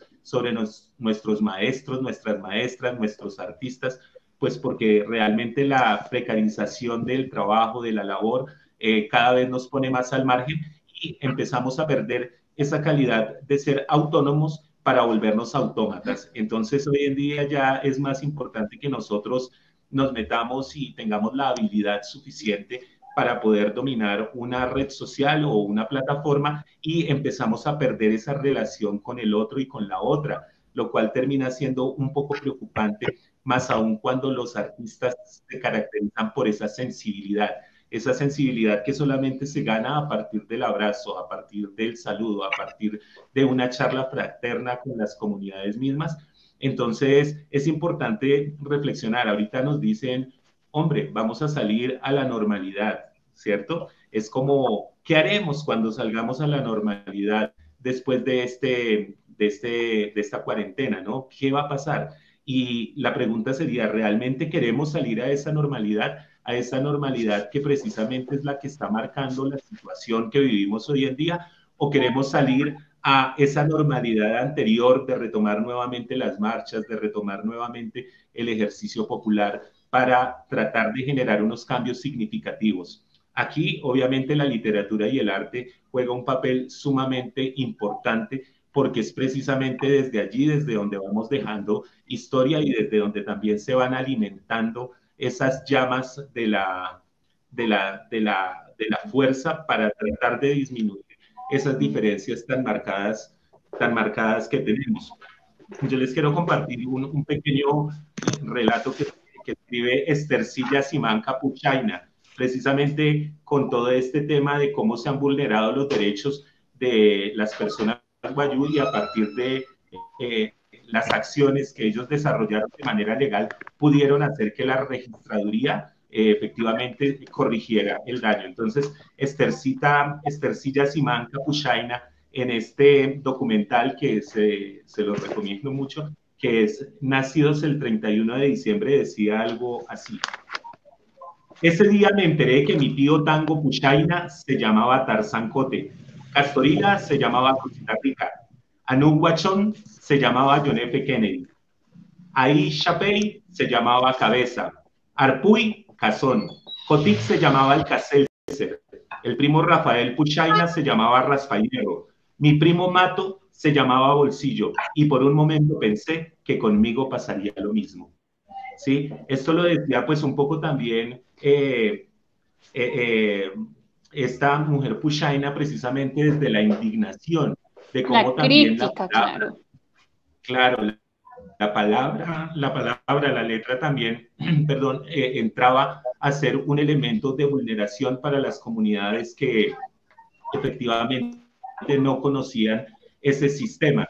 Entonces, pues sí llama bastante la atención, pues cuál puede ser realmente ese papel del de, el educador, el docente, el educador comunitario y realmente cómo nos vamos a acercar a las comunidades precisamente para servir también de intérpretes. Y cabría preguntarnos otra cosa adicional, y es efectivamente seguimos en este ejercicio colonial donde es necesario, absolutamente necesario, que todas las comunidades tengan que cambiar y tener como lengua el español o realmente algún día vamos a empezar a respetar a todas las personas que han nacido en este territorio y que a través de la oralidad han podido conservar toda su tradición.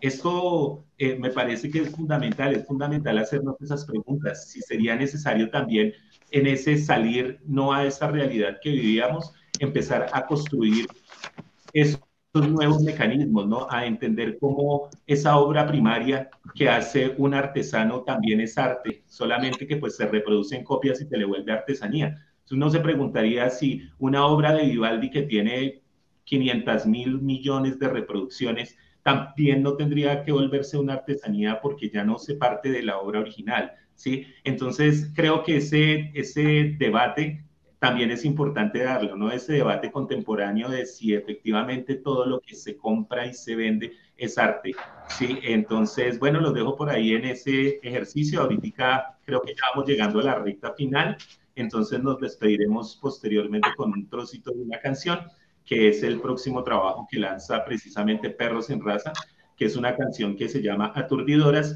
y es precisamente, eh, cuenta como todas estas incidencias o algunas de las incidencias de los paros importantes en Colombia, donde precisamente las aturdidoras y las esquirlas marcan la historia de los marchantes. Muchas gracias. Dale, muchas gracias a ti. Por aquí tenemos eh, varias preguntas, pues a propósito de lo que tú dices, eh, de todo este tema del arte y demás. Acá en los comentarios, algunas preguntas dicen, llegar con el arte, o sea, ¿por qué no, no cuestionamos ese llegar con, nos lo dicen acá, o llevarles a las comunidades. Nos preguntan que nos cuestionemos por eso. Nos preguntan qué hacer para incrementar la producción literaria que aborde la realidad y no tanto la metáfora en temas fundamentales como el cuidado. Por ejemplo, también nos dicen un poco, bueno, sí, en el campo, en lo rural está la violencia, pero hombre, lo rural no es solo la violencia, ¿cierto? También hay, hay otras cosas por contar. Entonces son varias de las preguntas para que también acá intentemos responderlas un poco, ¿listo?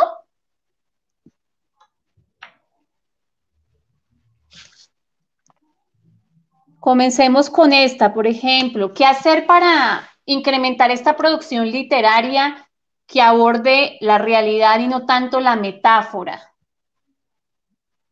¿Qué crees, Fernando? ¿Qué crees, Nisa?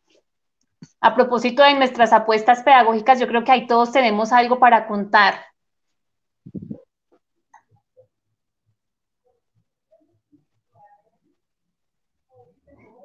Fernando no ha encendido el, micrófono. Ah, sí, Fer, lo tienes ahí silenciado. Eh, bueno, la pregunta yo creo que plantea una oposición entre lo metafórico y lo real, ¿no? Y, yo siento que, que esa oposición, a mi modo de ver, no es tal, eh, porque a veces lo metafórico habla más de la realidad que la realidad misma. Precisamente necesitamos crear metáforas para, decía Borges una vez algo increíble, ¿no? A propósito de lo que a él le encantan de las metáforas populares, que en Borges es poco conocido y es, eh, dice, a mí hay una metáfora que me, eh, me encanta sobremanera, que es echar la casa por la ventana y dice, por más que se diga que hubo una fiesta como sea, echar la casa por la ventana recoge una emoción que nunca la podríamos decir con la realidad y que es parte de la realidad, así uno describe cómo fue una fiesta. Entonces digamos que la metáfora no la pongamos a mi mover como oposición, sino en qué momento recurrimos a ese lenguaje y en qué momento recurrimos a otro. ¿Verdad? Si yo estoy en un, en un juicio, por decir algo, en un escenario judicial, pues habrá un discurso donde tendremos que entrar en ese contexto eh, de la prueba, en ese contexto del argumento, del contraargumento.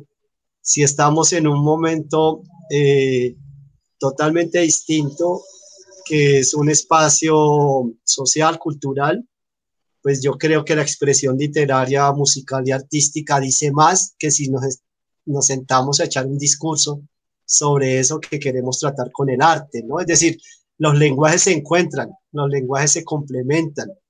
Obviamente el discurso de la verdad y la mentira es otro. Allí hay una oposición. Claro, eh, frente a un discurso ahorita de contramemoria, por decirlo de alguna manera, la memoria tiene que recoger una verdad que incluye lo histórico pero me parece que no quiere decir que si trabajamos desde unas eh, formas artísticas nos estemos separando de la verdad histórica.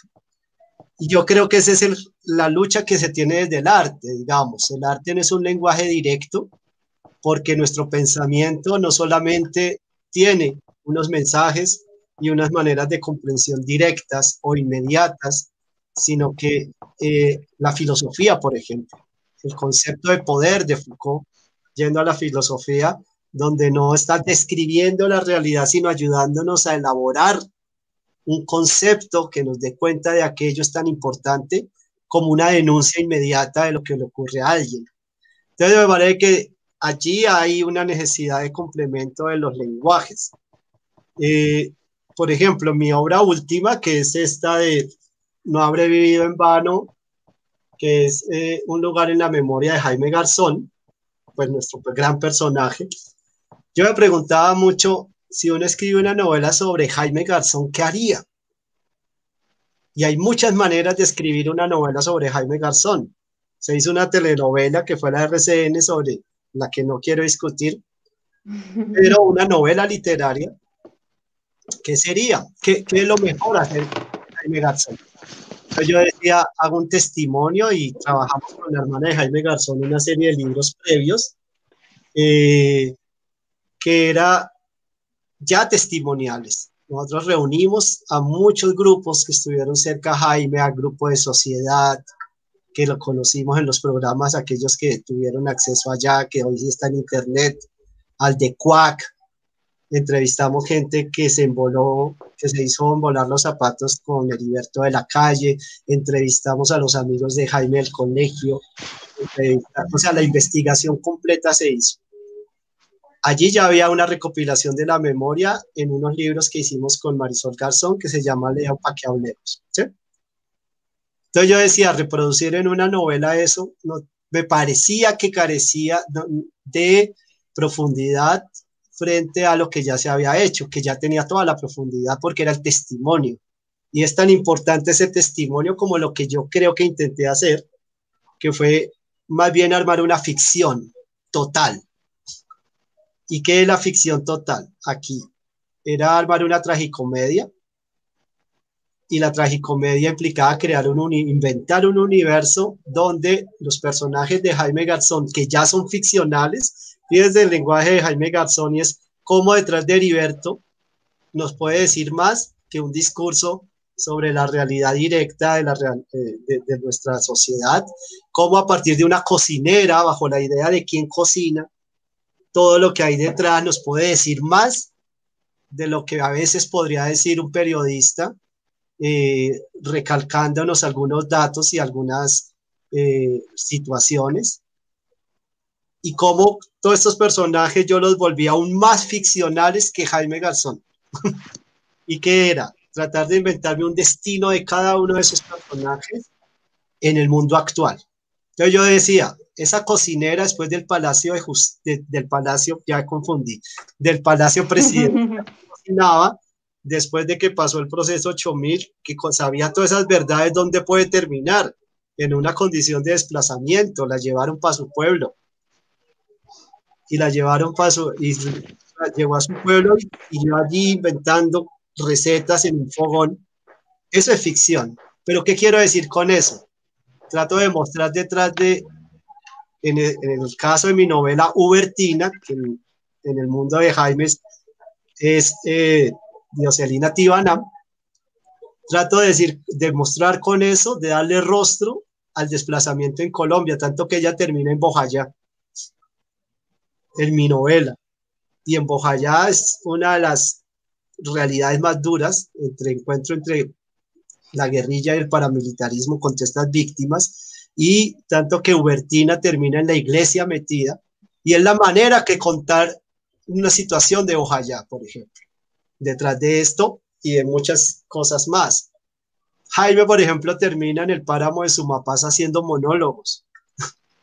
y entonces, eh, ¿qué es lo que yo trato de recoger allí? Aquello que no podemos decir de Jaime de otra manera.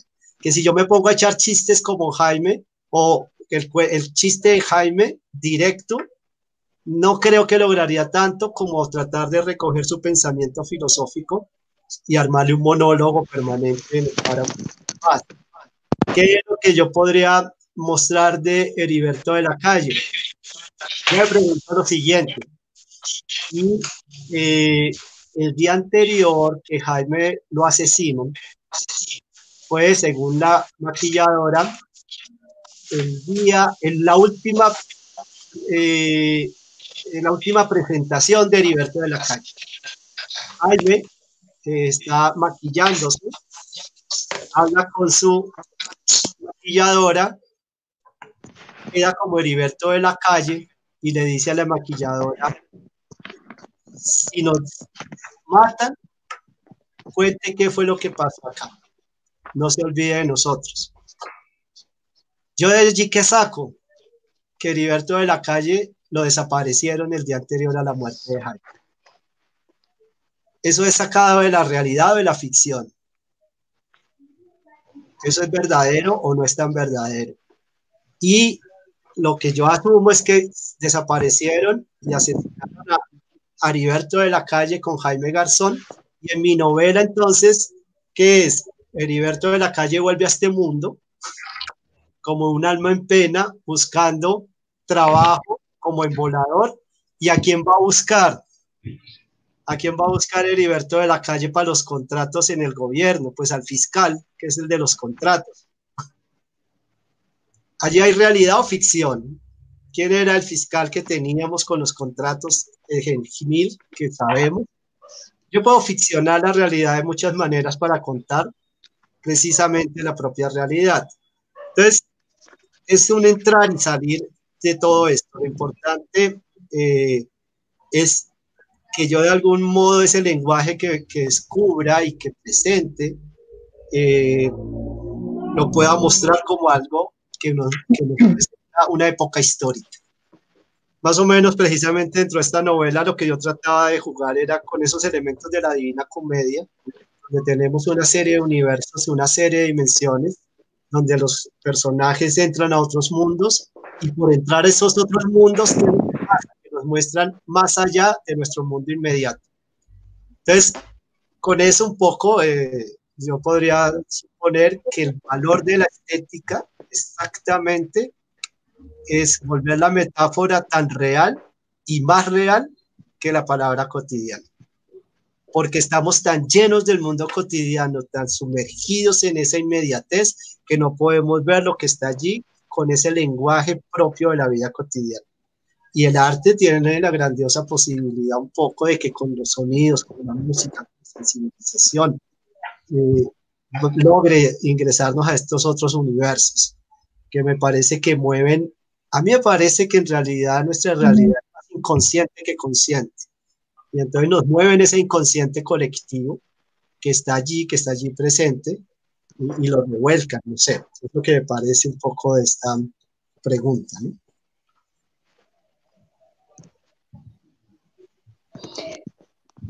Voy yo.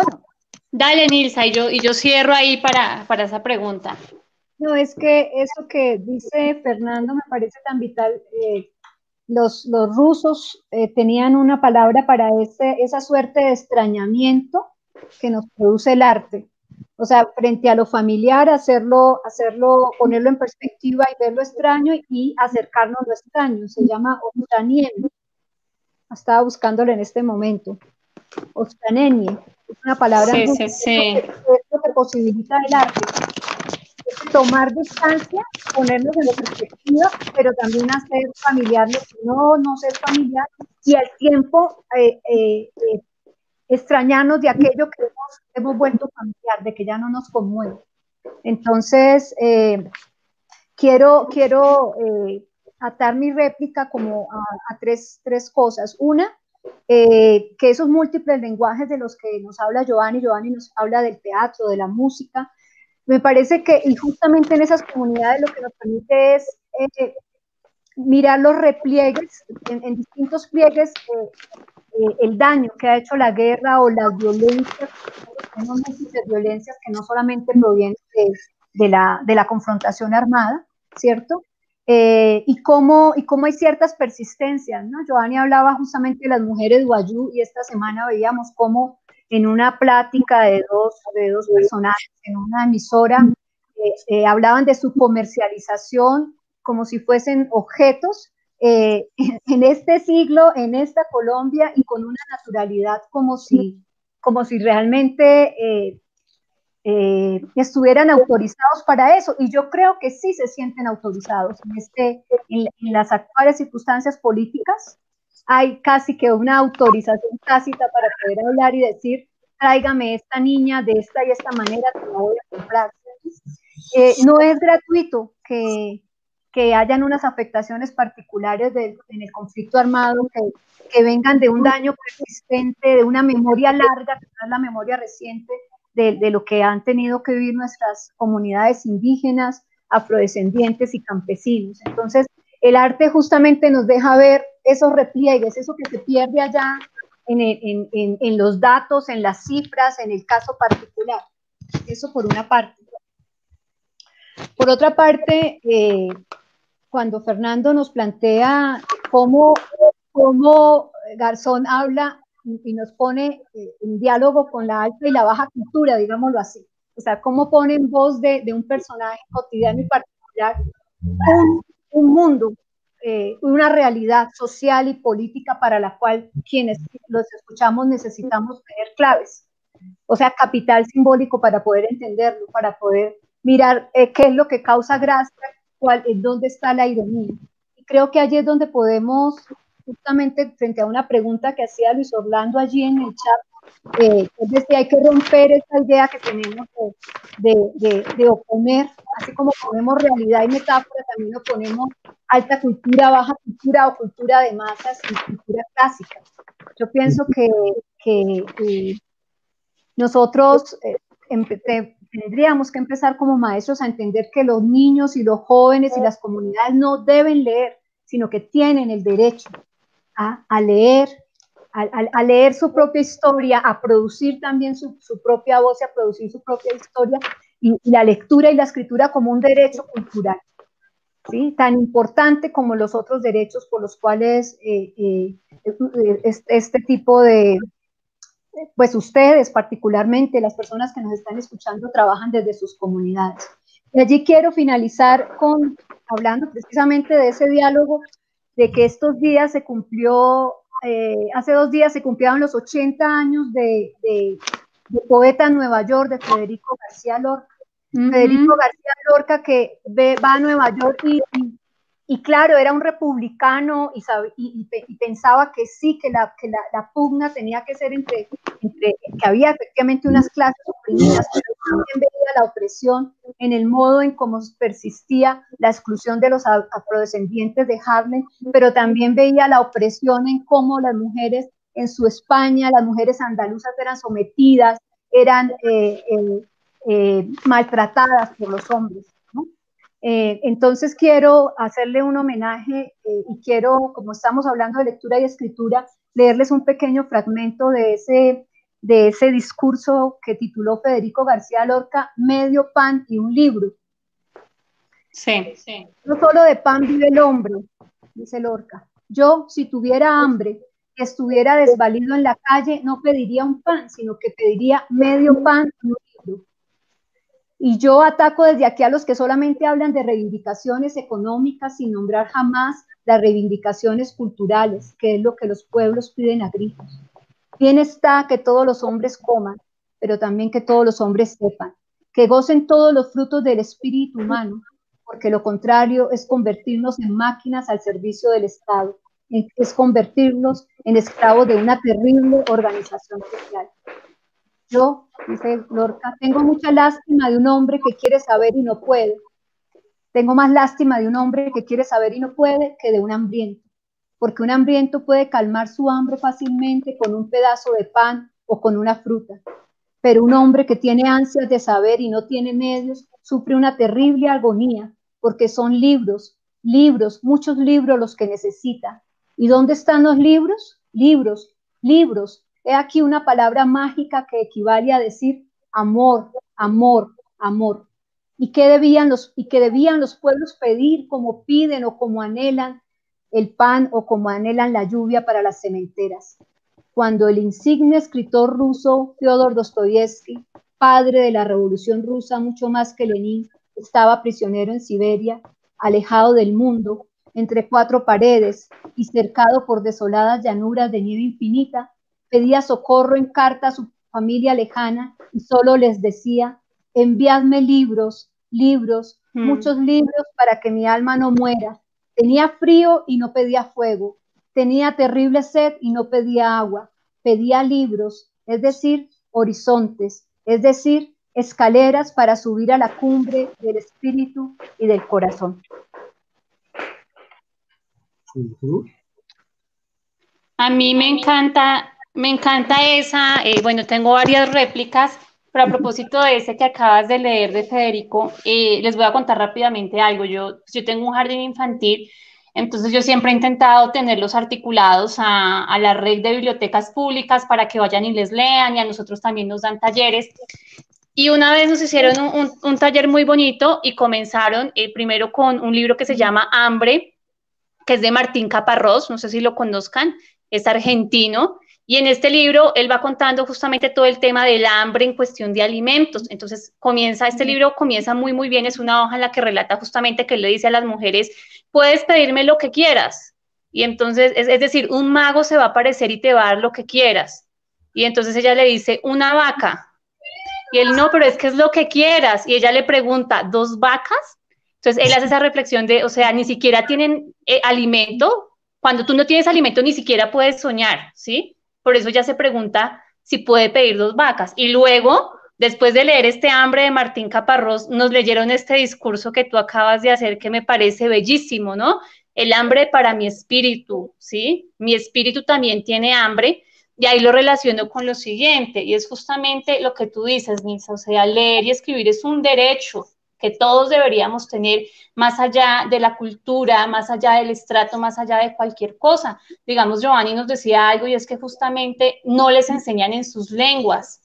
Y esto ya crea una desventaja, digamos, en San Andrés, eh, también estuve en un taller sobre esto, nos contaban que a ellos los comienzan a alfabetizar en español cuando ni siquiera eran en español y los índices de analfabetismo en San Andrés son elevadísimos, claro, no en vano, porque pues no, no te están enseñando en tu lengua, pero entonces también acá hay algo importante y me acordé de Rigoberta Menchú, y es que ella lo dice también en, su novela autobiográfica, y es como a mí me toca aprender el idioma de los blancos, dice ella, porque ahí está la noción de derecho, ¿ves? Y porque es a partir de ahí que yo me defiendo. Entonces es la escritura, la lectura y el aprender incluso la lengua española para nuestras comunidades es una cuestión de defenderme, ¿sí? Es una cuestión de cómo yo también tengo que transformar mi propia lengua en mi propio lenguaje para que el otro me escuche.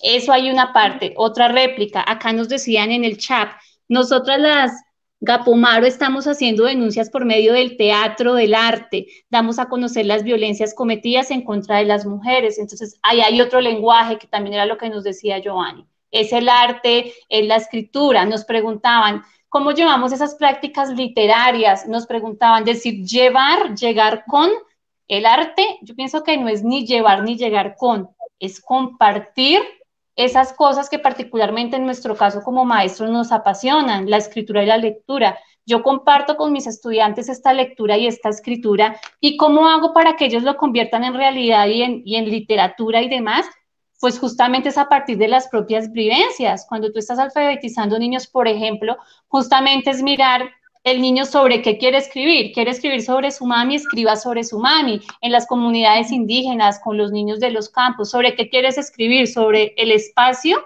que yo habito. Una vez hablamos desde el yo, es más fácil que los niños, por ejemplo, en las prácticas en las universidades puedan escribir.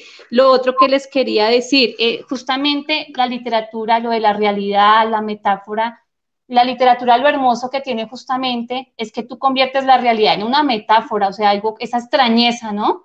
Algo que parece tan alejado puede ser incluso más real. Y me acordé acá de un cuento que, bueno, no, no lo conseguí a la mano, que se llama, es de Cortázar, porque ahorita estoy leyendo el tomo 2 de cuentos completos, Apocalipsis, creo que se dice de Solentinén, no sé. El caso es que esto parece, ajá, Solentiname, aparece, Solentiname, tal cual. Entonces, justamente parece tan irreal porque son las fotografías que él toma de los cuadros y supuestamente cuando él las va a revelar se le sale todo ese universo, pero ahí está haciendo una denuncia de los desaparecidos. Entonces, muchas veces justamente en esto de la que parece ficción y que no parece realidad, ahí está, en lo metafórico siempre, siempre está la realidad. ¿Y cómo hacer para que escribamos? Incluso hay historias ajenas que se quedan a vivir con nosotros. Es el caso de una novela que yo escribí, es una historia ajena, pero se queda a vivir conmigo y yo hago posible que esto llegue a escribirse. Y lo mismo pasa con los niños y lo mismo pasa con los jóvenes. Esas historias orales que van escuchando por ahí de sus comunidades, justamente es lo que debemos potenciar para que ellos comiencen a escribirlo, bien sea en tono de denuncia, bien sea para que den a conocer su cultura. Pero la realidad siempre está ahí, siempre, siempre va a estar ahí. Y si la juntamos con lo metafórico, va a ser pues un producto, entre comillas, que nos va a permitir ver las cosas de otra manera. Esas eran mis réplicas sobre, sobre toda esta parte para darle cierre.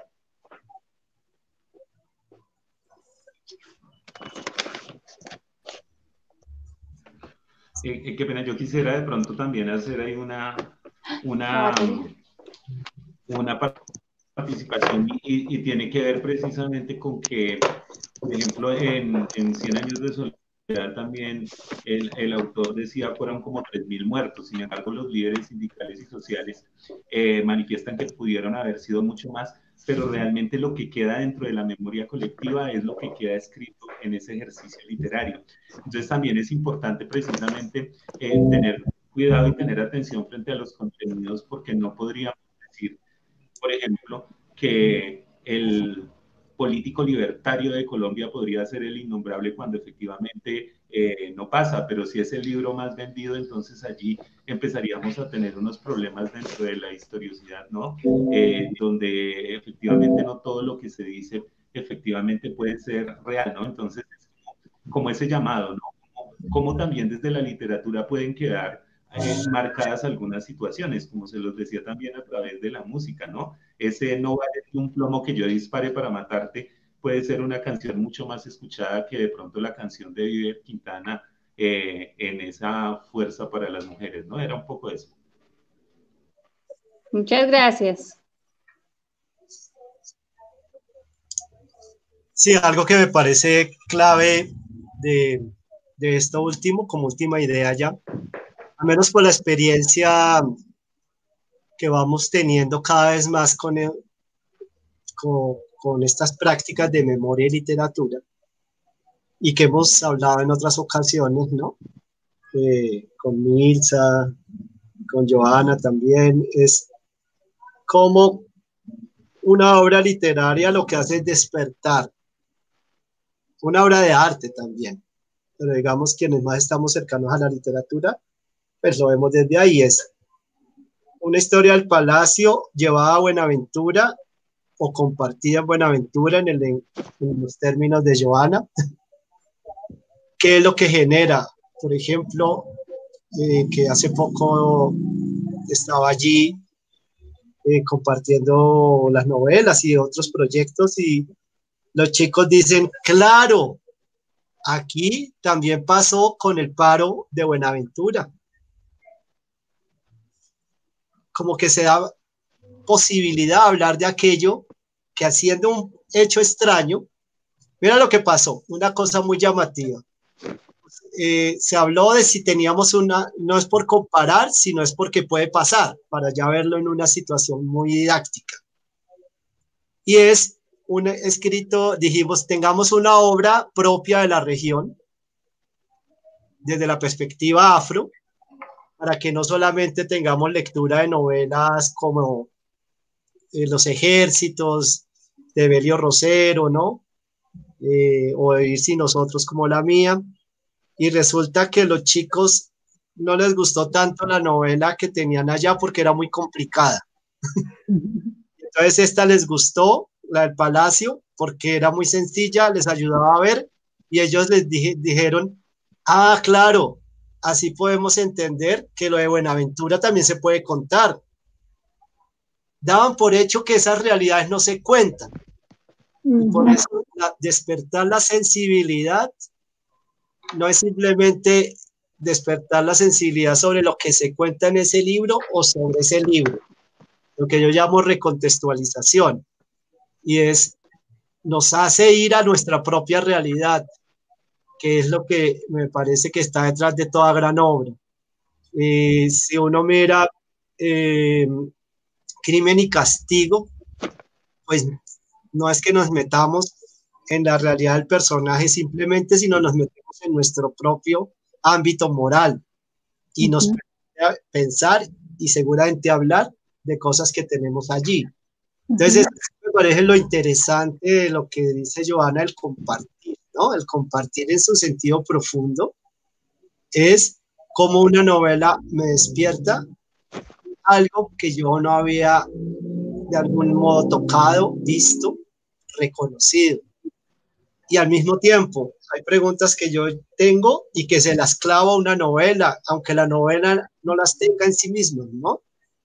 Y esa idea de diálogo que me parece que es el nombre de estos espacios que tenemos, eh, permiten ver un diálogo activo, problemático, constructivo, eh, cuestionador, digamos, es lo que me parece que, que, permite ese encuentro eh, de lenguajes.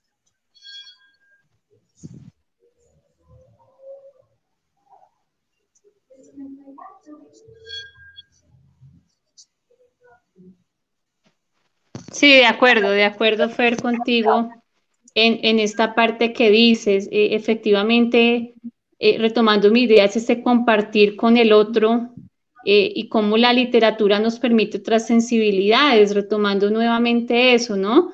Porque miren que todo lo que leemos eh, nos conlleva otros metarrelatos, les llamo yo. Lo que tú dices, allá hayan leído esto y luego dicen, ay, pero esto también lo podemos contar. O sea, incluso un relato que parece de ficción, de alguna manera termina contándonos nuestra propia realidad. Eh, acá ya, ya hemos venido trabajando diferentes textos en los que ya hay una, una intención de, de, retomar esas memorias colectivas en Colombia, ¿no? Que no todo el mundo lo hace, pero acá ya hay varios textos y varios autores en los que justamente se intentan retomar esas memorias, esas realidades que terminan relacionándose todo con todo. Eh, por ejemplo, pues ahí están tus dos novelas que salen de unas realidades, como decíamos al principio, las mujeres en cierta medida decimos todas en algún momento hemos sido vulneradas, cuando hablamos de Rosa Elvira, con los vivir sin los otros, en algún momento, así no sea bajo el contexto de la guerra, muchos cuando la leyeron se dieron cuenta que tenían un desaparecido en su familia, lo relacionaron con los falsos positivos, y así, así un sinnúmero de novelas siempre va pasando. Nilsa tenía por contarnos también justamente eso, ¿no? Como que, qué novelas han ido transcurriendo acá, eh, que se han ido dando, que nos puedan hablar de nuestra realidad, de nuestras memorias colectivas. Tú has trabajado mucho en eso. Cuando yo publique la mía, la metes en ese canon, pero por ahora ve contándonos justamente de estos libros que retoman nuestras memorias. Pues mira, lo que pasa es que Giovanni está allí listo con la música ya para ir cerrando, pero creo que esto meritaría una conversación en otro espacio y es que eh, este, para mí este siglo y particularmente estas dos últimas décadas son las décadas de la literatura de la memoria en el país. Eh, todos los, escritores eh, que, que, conocemos en distintos ámbitos de alguna manera todos han sentido la necesidad de escuchar esas voces, porque finalmente a propósito de lo que Fernando decías alrededor de, que la novela nos responde preguntas y nos abre otras preguntas, en realidad lo que hace toda novela, tanto por el que la escribe, el que la escribe eh, pone el oído en alguna zona social, en algún problema particular. Eh, y lo, y lo, y lo, lo condensa y lo, y, lo, lo, modifica y lo reelabora artísticamente mediante la, la creación estética verbal, como, como llamaba este campo eh, Mijail Bakhtin. Eh, y de alguna manera el propio escritor también se responde eh, sus propias preguntas, ¿no? A, a, través de la escritura y también nosotros los lectores, eh, cuando llegamos a una novela, nos, nos llega también por una pregunta vital que tenemos por responder. Eh, hoy precisamente, sí, sería, un, sería un acumulado desde José Belio, de Belio Rosero, eh, Santiago Gamboa, eh, hay, hay, ahorita Piedad Bonet, o sea, en cada uno, Laura Restrepo, en cada uno de los novelistas de nuestro tiempo, si ustedes miran en el acumulado de su obra, hay por lo menos, por lo menos una obra que ha puesto el oído allí, en, esa, en, esas, eh, en esas voces que nos están diciendo eh, que algo ha, pasado y que algo nos ha pasado y, y, que no lo, no lo podemos dejar pasar así nomás, sino que hay que empezar a reconocerlo. Y creo que en eso, a pesar de todas las circunstancias eh, que, que hoy nos rodean, empezando por esta situación de salud tan difícil, esta emergencia sanitaria, pero también en, esta reedición de, la seguridad democrática que nos ha traído el gobierno de Duque, creo que hay tres cosas que nos deja eh, el, acuerdo de paz que van a ser fundamentales, la Comisión de la Verdad, la Justicia Especial para la Paz y la Unidad de Búsqueda de Personas Dadas por Desaparecidas. Eh, antes solamente podíamos recurrir a la literatura para hablar de este tema, pero hoy ya hay, institucionalmente hay un reconocimiento de que hay por lo menos 83 mil personas desaparecidas y contando, y contando cuando se terminen de formalizar las denuncias. Entonces, por eso tal vez la obra de, Fernando fue tan importante en mi propio proyecto y, en mis, y, responde también una pregunta que yo me hacía es cuándo vamos a hablar de esto, cuándo esta sociedad va a estar preparada para hablar de esto. Y resulta que eh, mientras en el ámbito nacional y público eh, eso estaba de alguna manera censurado, borrado, acallado. la literatura, como la memoria, les decía yo que días, sigue su curso. La, la, memoria y la literatura son como el agua, ¿no? Así se encuentran muros enormes. ella, ella busca el modo de, de seguir corriendo y de seguir cursando y de, y de llegar.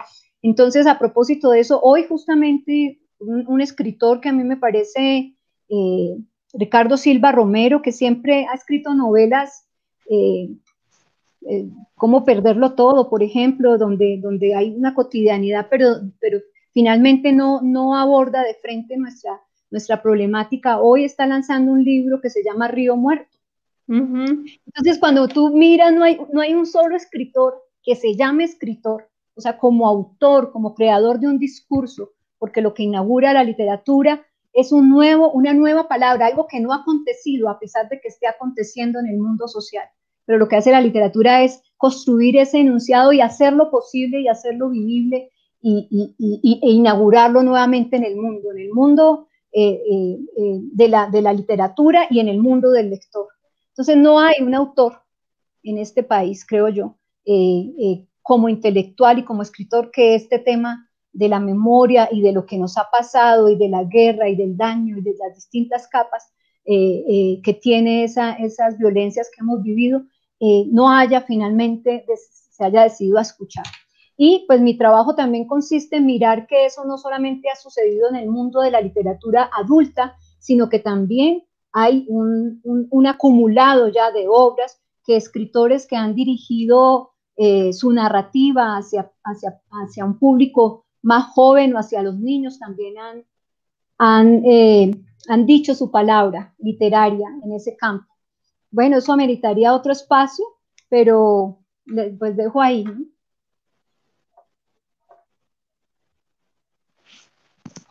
Dale, perfecto. Sería entonces eh, bueno escuchar a Giovanni que, que, está ahí listo hace rato con, con su guitarra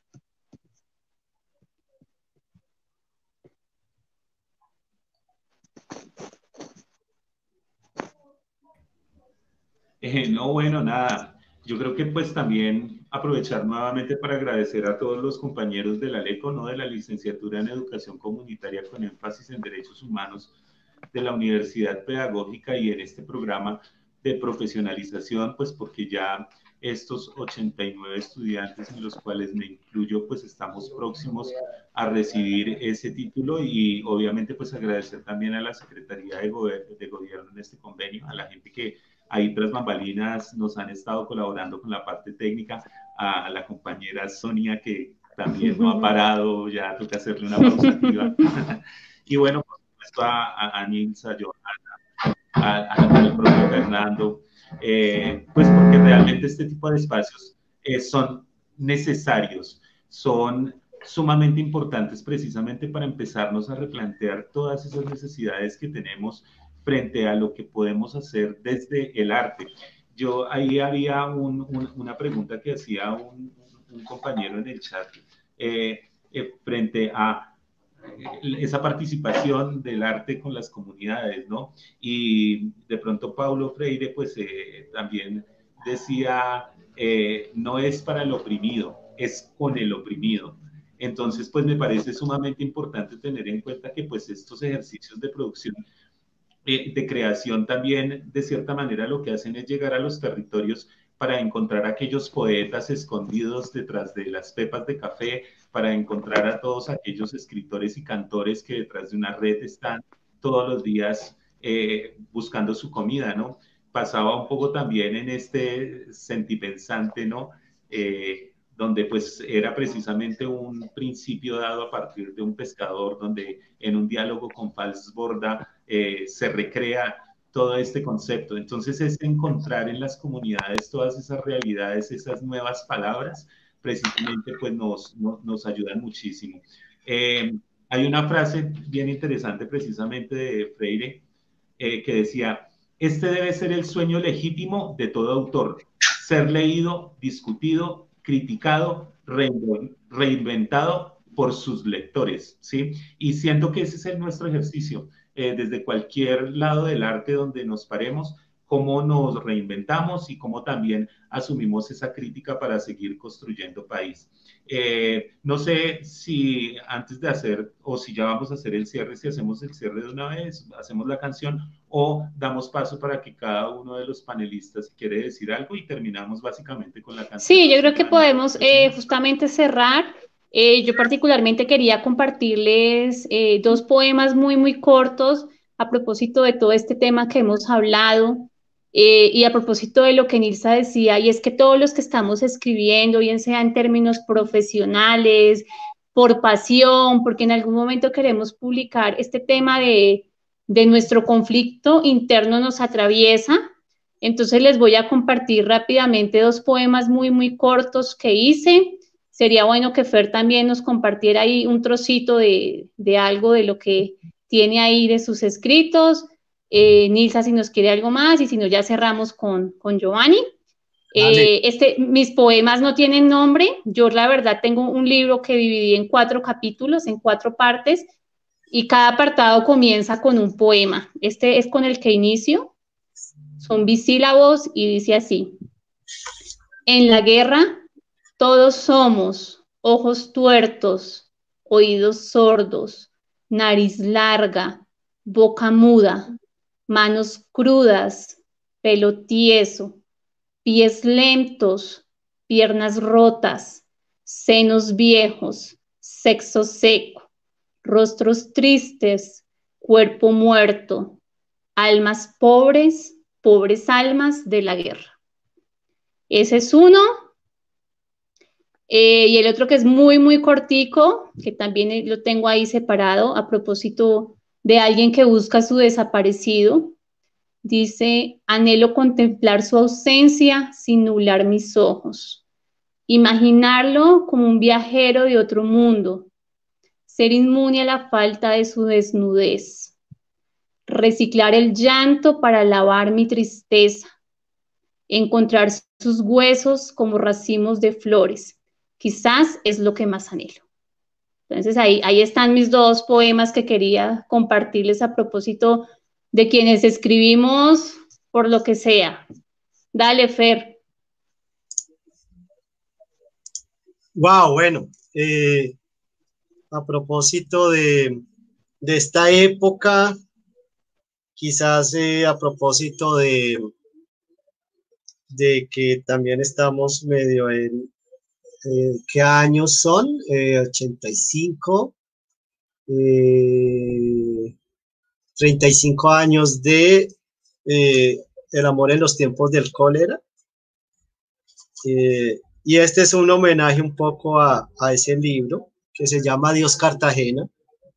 Es, un, es de un libro mío que se llama Cuerpo Adentro, que es un libro de poemas que salió antes de la novela de Garzón, entonces creo que es más oportuno leer este poema hoy, que es Adiós Cartagena, ciudad de fuego y de sal, frontera de viento y embrujo, donde se pierde el límite de la noche y la certeza.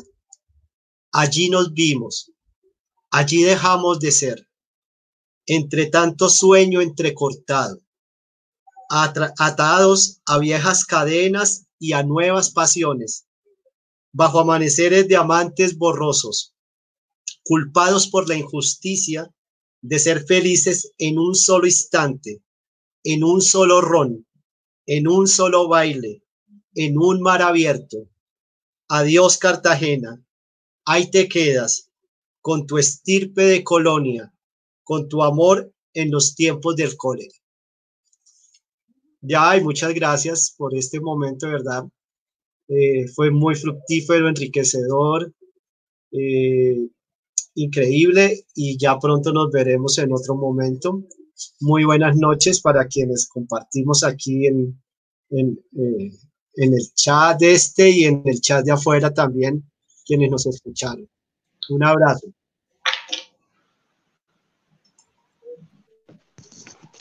Nils, ¿algo más que nos quieras compartir?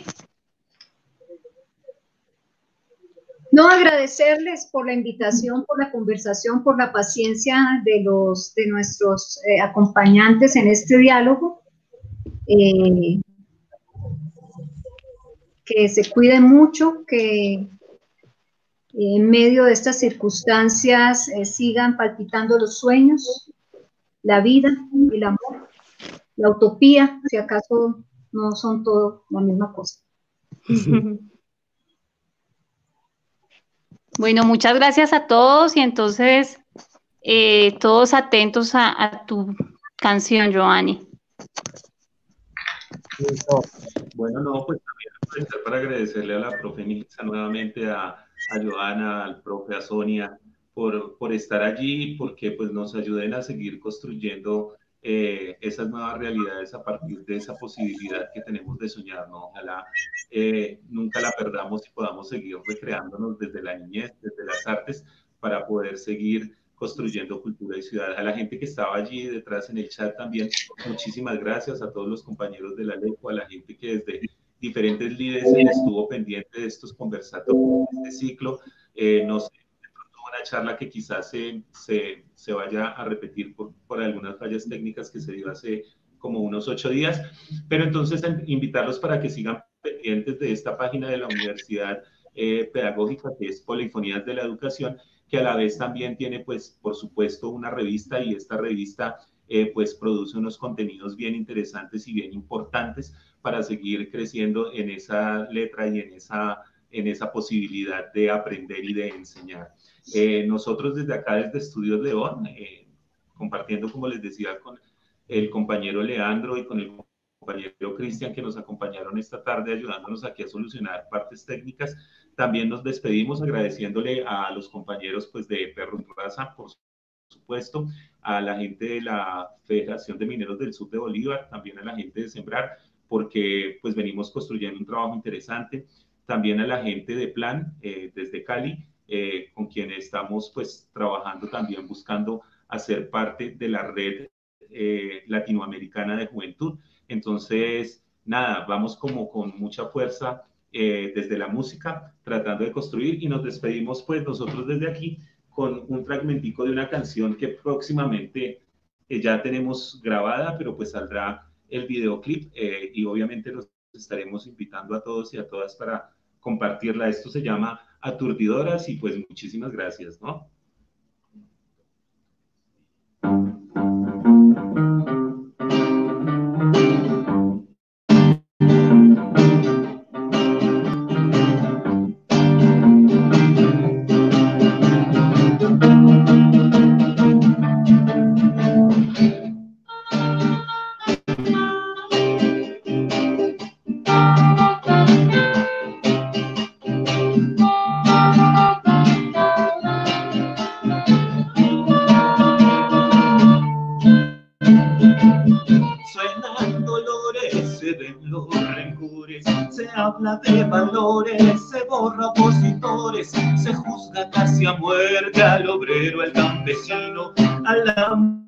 Que lucha por un mejor destino.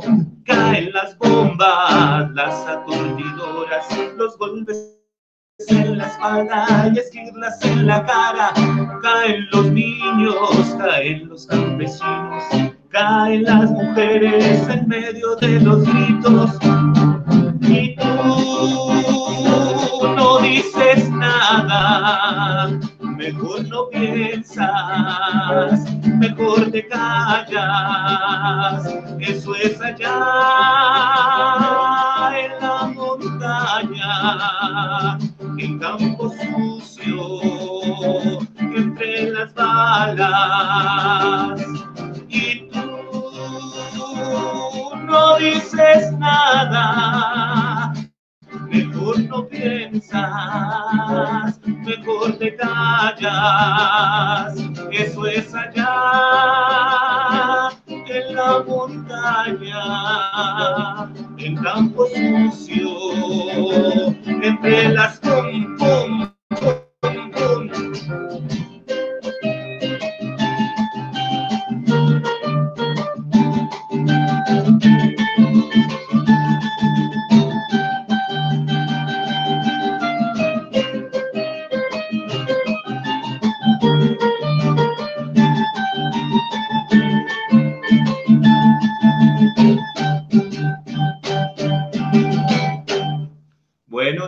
pum, pum, aturdidoras. Nuevamente un agradecimiento a Joana, a la Universidad Pedagógica por este espacio, a la Secretaría de Gobierno, agradecerles muchísimo a los profes que estuvieron tras bambalinas también y pues esperamos podernos encontrar nuevamente en una próxima oportunidad para poder seguir con estos diálogos, con estas polifonías, con estos discursos, con estas discusiones y poder seguir creciendo en el arte, la cultura, la comunidad y sobre todo en la resistencia. A todos y a todas, muy buena noche eh, que estén muy bien y muchas gracias. Un abrazo fraterno desde acá, desde Estudios León. Muchas gracias. Chao.